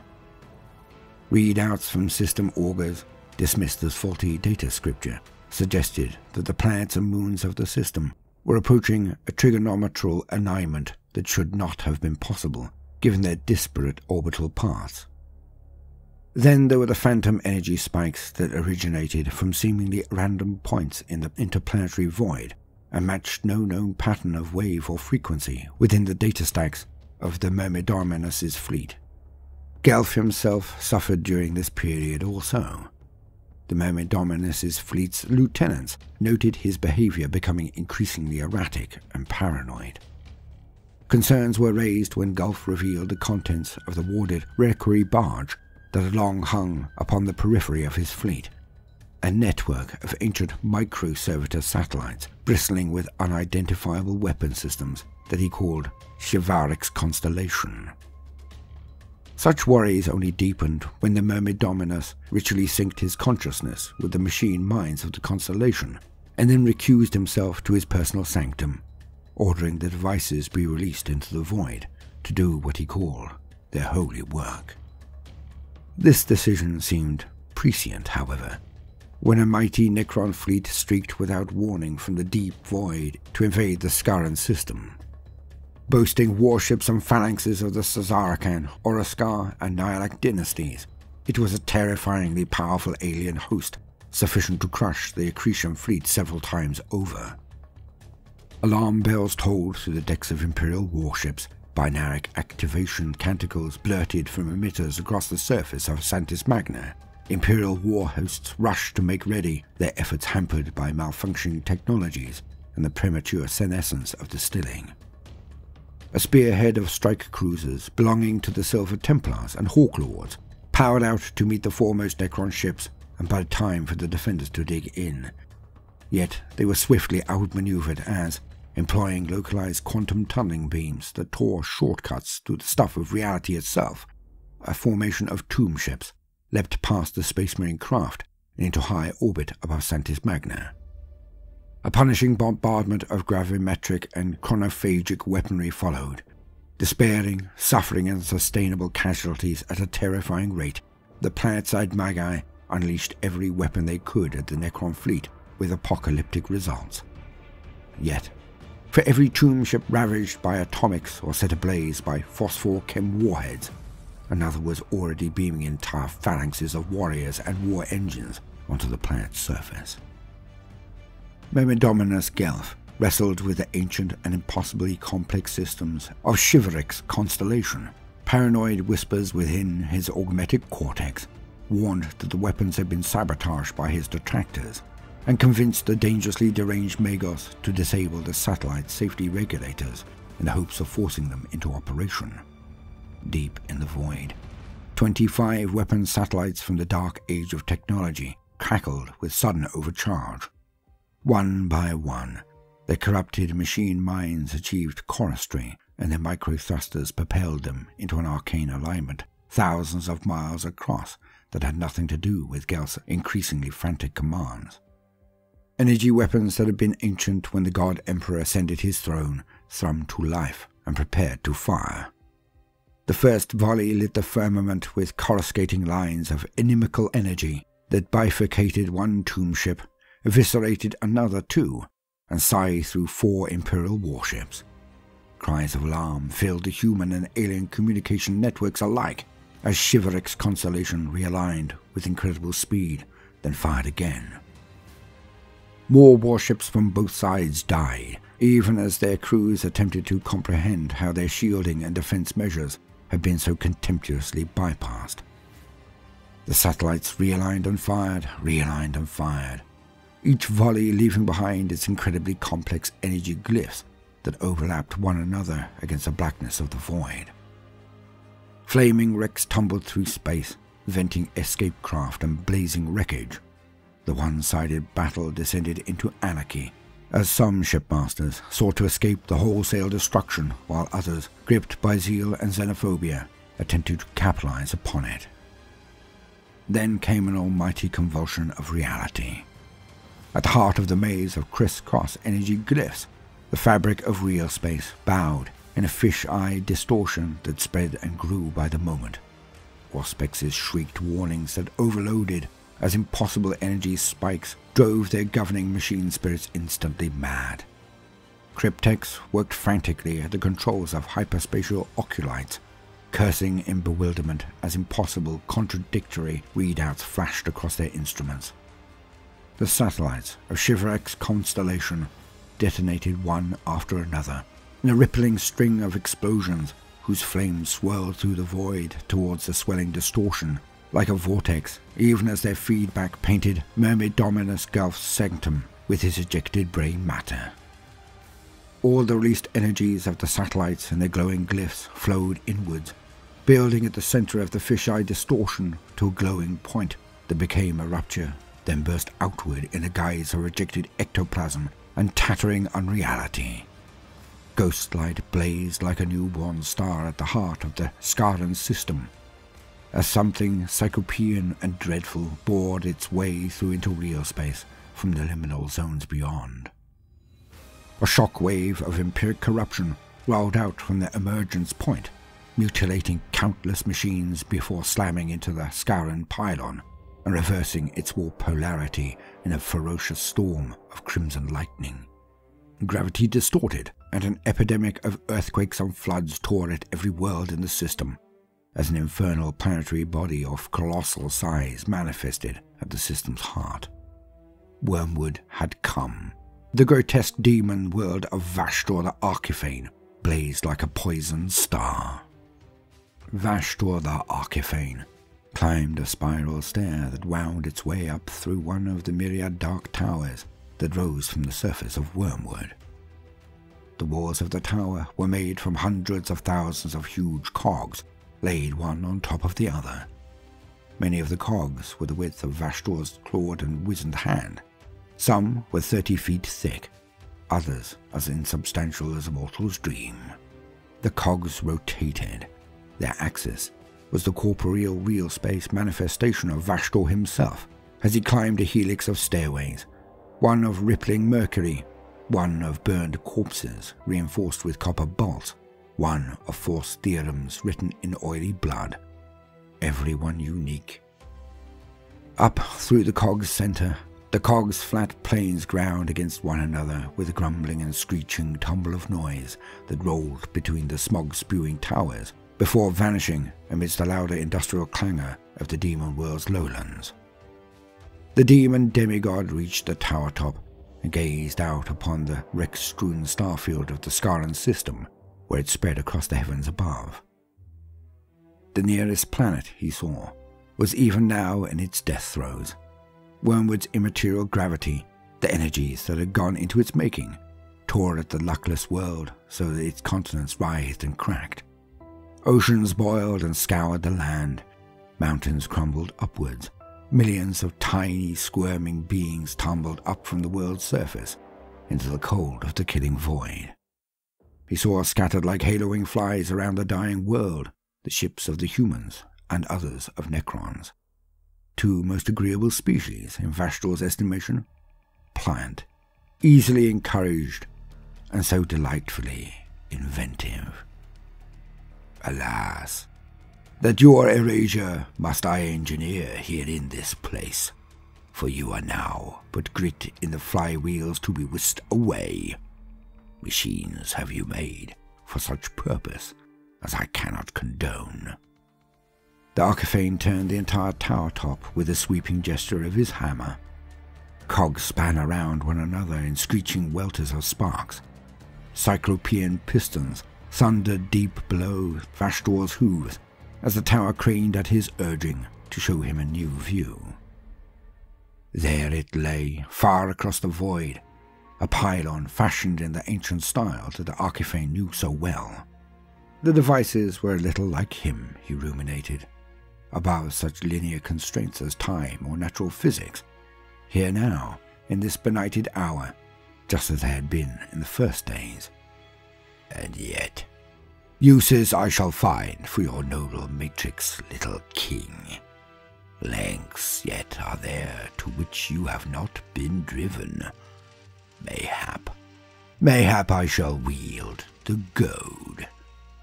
Vashtorr chided himself mentally. The problem with real space, he thought, was the way in which some things were and others weren't. How he always had to adjust to notions like had been or were not yet. It would all come in good time, of course. The thought coaxed fresh billows of fume from the demon's vents and caused ropes of acrid pollutant to drool from its fox-griller maw. First, though, there were more pragmatic matters to attend to. Details of corporeal strategy must be managed in the linear theatre. Fully awakened as it was, Wormwood was, in Vashtorr's estimation, virtually unassailable by conventional armies. The corrupted web-way tunneling engine churning at its heart had enabled it to bypass the Necron's nodal matrix, while the Arkifane's infernal artifice had allowed him to corrupt the nearby pylon whose influence might otherwise have started to wear away at the demon world from the moment of its emergence. Best of all, Vashtorr felt the empowerment of worship flowing into him from all across the benighted war zone. So many willful acts of technological destruction had been committed, such a wealth of brilliant minds had allowed their own corruption at the goading of his imps, or thanks to their own misplaced sense of faith or patriotism. Ignorance of one's own devotions, the demon reflected, had ever been the bane of such intellects, and never, in the final reckoning, an effective defense for those who were quite sure of their secularity. For all his advantages, however, the Arkifane had come to a region the very nature of which had been rendered utterly inimical to his kind. One misstep, the slightest moment of complacency, could see his plans cast down in ruin. The Arkifane could not allow that. After all, his search had barely begun. Thanks steam and iron and pain for my cogs, then, he muttered to himself. Another sweep of his hammer, another titanic industrial convulsion of the tower beneath him, and Vashtorr was looking out upon wave after wave of attack craft, spreading out from Wormwood's orbit to fall upon the shattered human and Necron forces. He saw the pugnacious warships of Chaos Space Marine warbands, the jagged vessels of Dark Mechanicum covens writhing, wreathed in roiling fume and leaping energies, and confections of flesh and metal, tentacle and wing and flame that were demon warships making sail on tides of pain and fear. Many of these, he knew, had taken to travel in the wake of Wormwood, daring the rotted, cog-churned passageways it bored through liminal space and that collapsed gradually after its passing. Others were dark pilgrims drawn to Wormwood by strange visions or a desire for the Arkifane's blessings and established strongholds amongst the perilous environs. Then, of course, there were the many demonic entities indentured to his service. All would wreak havoc in the Arkifane's name. All would seek to catch his eye and win his approbation almost as though he were a fully fledged Chaos God already. The notion pleased him. It also spared him the mundane considerations of war, at least for the time being. Let his cogs infest the mechanism of that which was real in this place. Let them descend upon human and Necron alike, and render them into offerings they hoped would please him. Already the carnage had begun. Vashtorr could sense bloodshed and terror, engine deaths and rites of mechanized carnage. He sensed, more than saw, the flaring drives of warships fleeing from the system's edge, the bright machine mind of the Necron's leader flaring in speculation and amazement at what it had witnessed, the steely determination of space marines fighting their way clear to report what they had seen. Sparks, he rumbled to himself, dismissing the battling mortals after only the briefest considerations. Vashtorr had great works to undertake in this region of the galaxy, mighty revolutions of cog and gear to set in motion. He could not trouble himself with the petty flickerings of mortal thought and deed. Not yet, at any rate. The Arkifane would attend to his labours, and afterwards, he promised himself, he would have some fun. A scattered and shattered realm the Nephilim sector was no longer silent. War, increasingly bitter, desperate, and arcane, raged on countless worlds, as well as beneath their surfaces and in orbit around them. Cathedrals of crenellated industry, manned by macroclades of Skitarii and battle servitors, fought with every bionic servo and sinew of their remaining flesh to throw back legions of deathless Necrons hosts of space marines, battle sisters, and the last haunted remnants of once proud Imperial Guard regiments warred for survival against overwhelming enemy strength. From his command sanctum aboard the Zar Quaesitor, Belisarius Cawl watched the fragmented strategic picture with growing frustration. The situation was in a constant flux across a region so colossal as to utterly overmaster human comprehension. The Archimagos knew the hololiths he studied were gross simplifications, and that the orders he issued were merely the best guesses of Vicrian's high command staff rendered, in many cases, long after the situation on the ground had changed beyond recognition. Adding to Cawl's dismay was a rampant destruction unleashed by his fellow Magi and against his express command. He could not help but wonder what Primarch Guilliman would make of the atrocities unleashed by the servants of the Machine Guard in Victory's name, or the terrible damage wrought upon the worlds they had ostensibly been sent to save. His own scheme for the creation of liminal abrasors had still to bear any fruit, though Cawl's prototypes had at last begun to show promise. The ancient holy schemata in which he had placed his trust appeared to be valid after all, though it seemed now the time was sorely against the fulfillment of their promise. Worst of all, though, from the Archimagos' standpoint, were the disturbing rumors spreading from the Scaran system. Certainly, deep space energistic augury suggested a fundamental disruption of cosmic forces had occurred, while reading of the Emperor's Tarot prophesied the dismaying corruption of chaos on every front. Belisarius Cawl did not yet possess enough sound intelligence to know precisely what had come to pass in the Scaran system. Intuition told him, however, that it was nothing good. In one thing, Cawl was comforted, however. Misses had reached him promising that battle group Hephaestus had only to hold Stormvor's Fortress together for a little longer. Roboute Guilliman was on his way at last, reputed to sail at the head of a truly formidable host drawn from the cream of Indomitus Crusade Fleet Primus. When Guilliman arrived, Cawl knew there would be a reckoning. It might have comforted the Archimagos to know that the Silent King had store of woes to equal Cawl's own. That Szarekh had a clearer view of matters was not a kindness.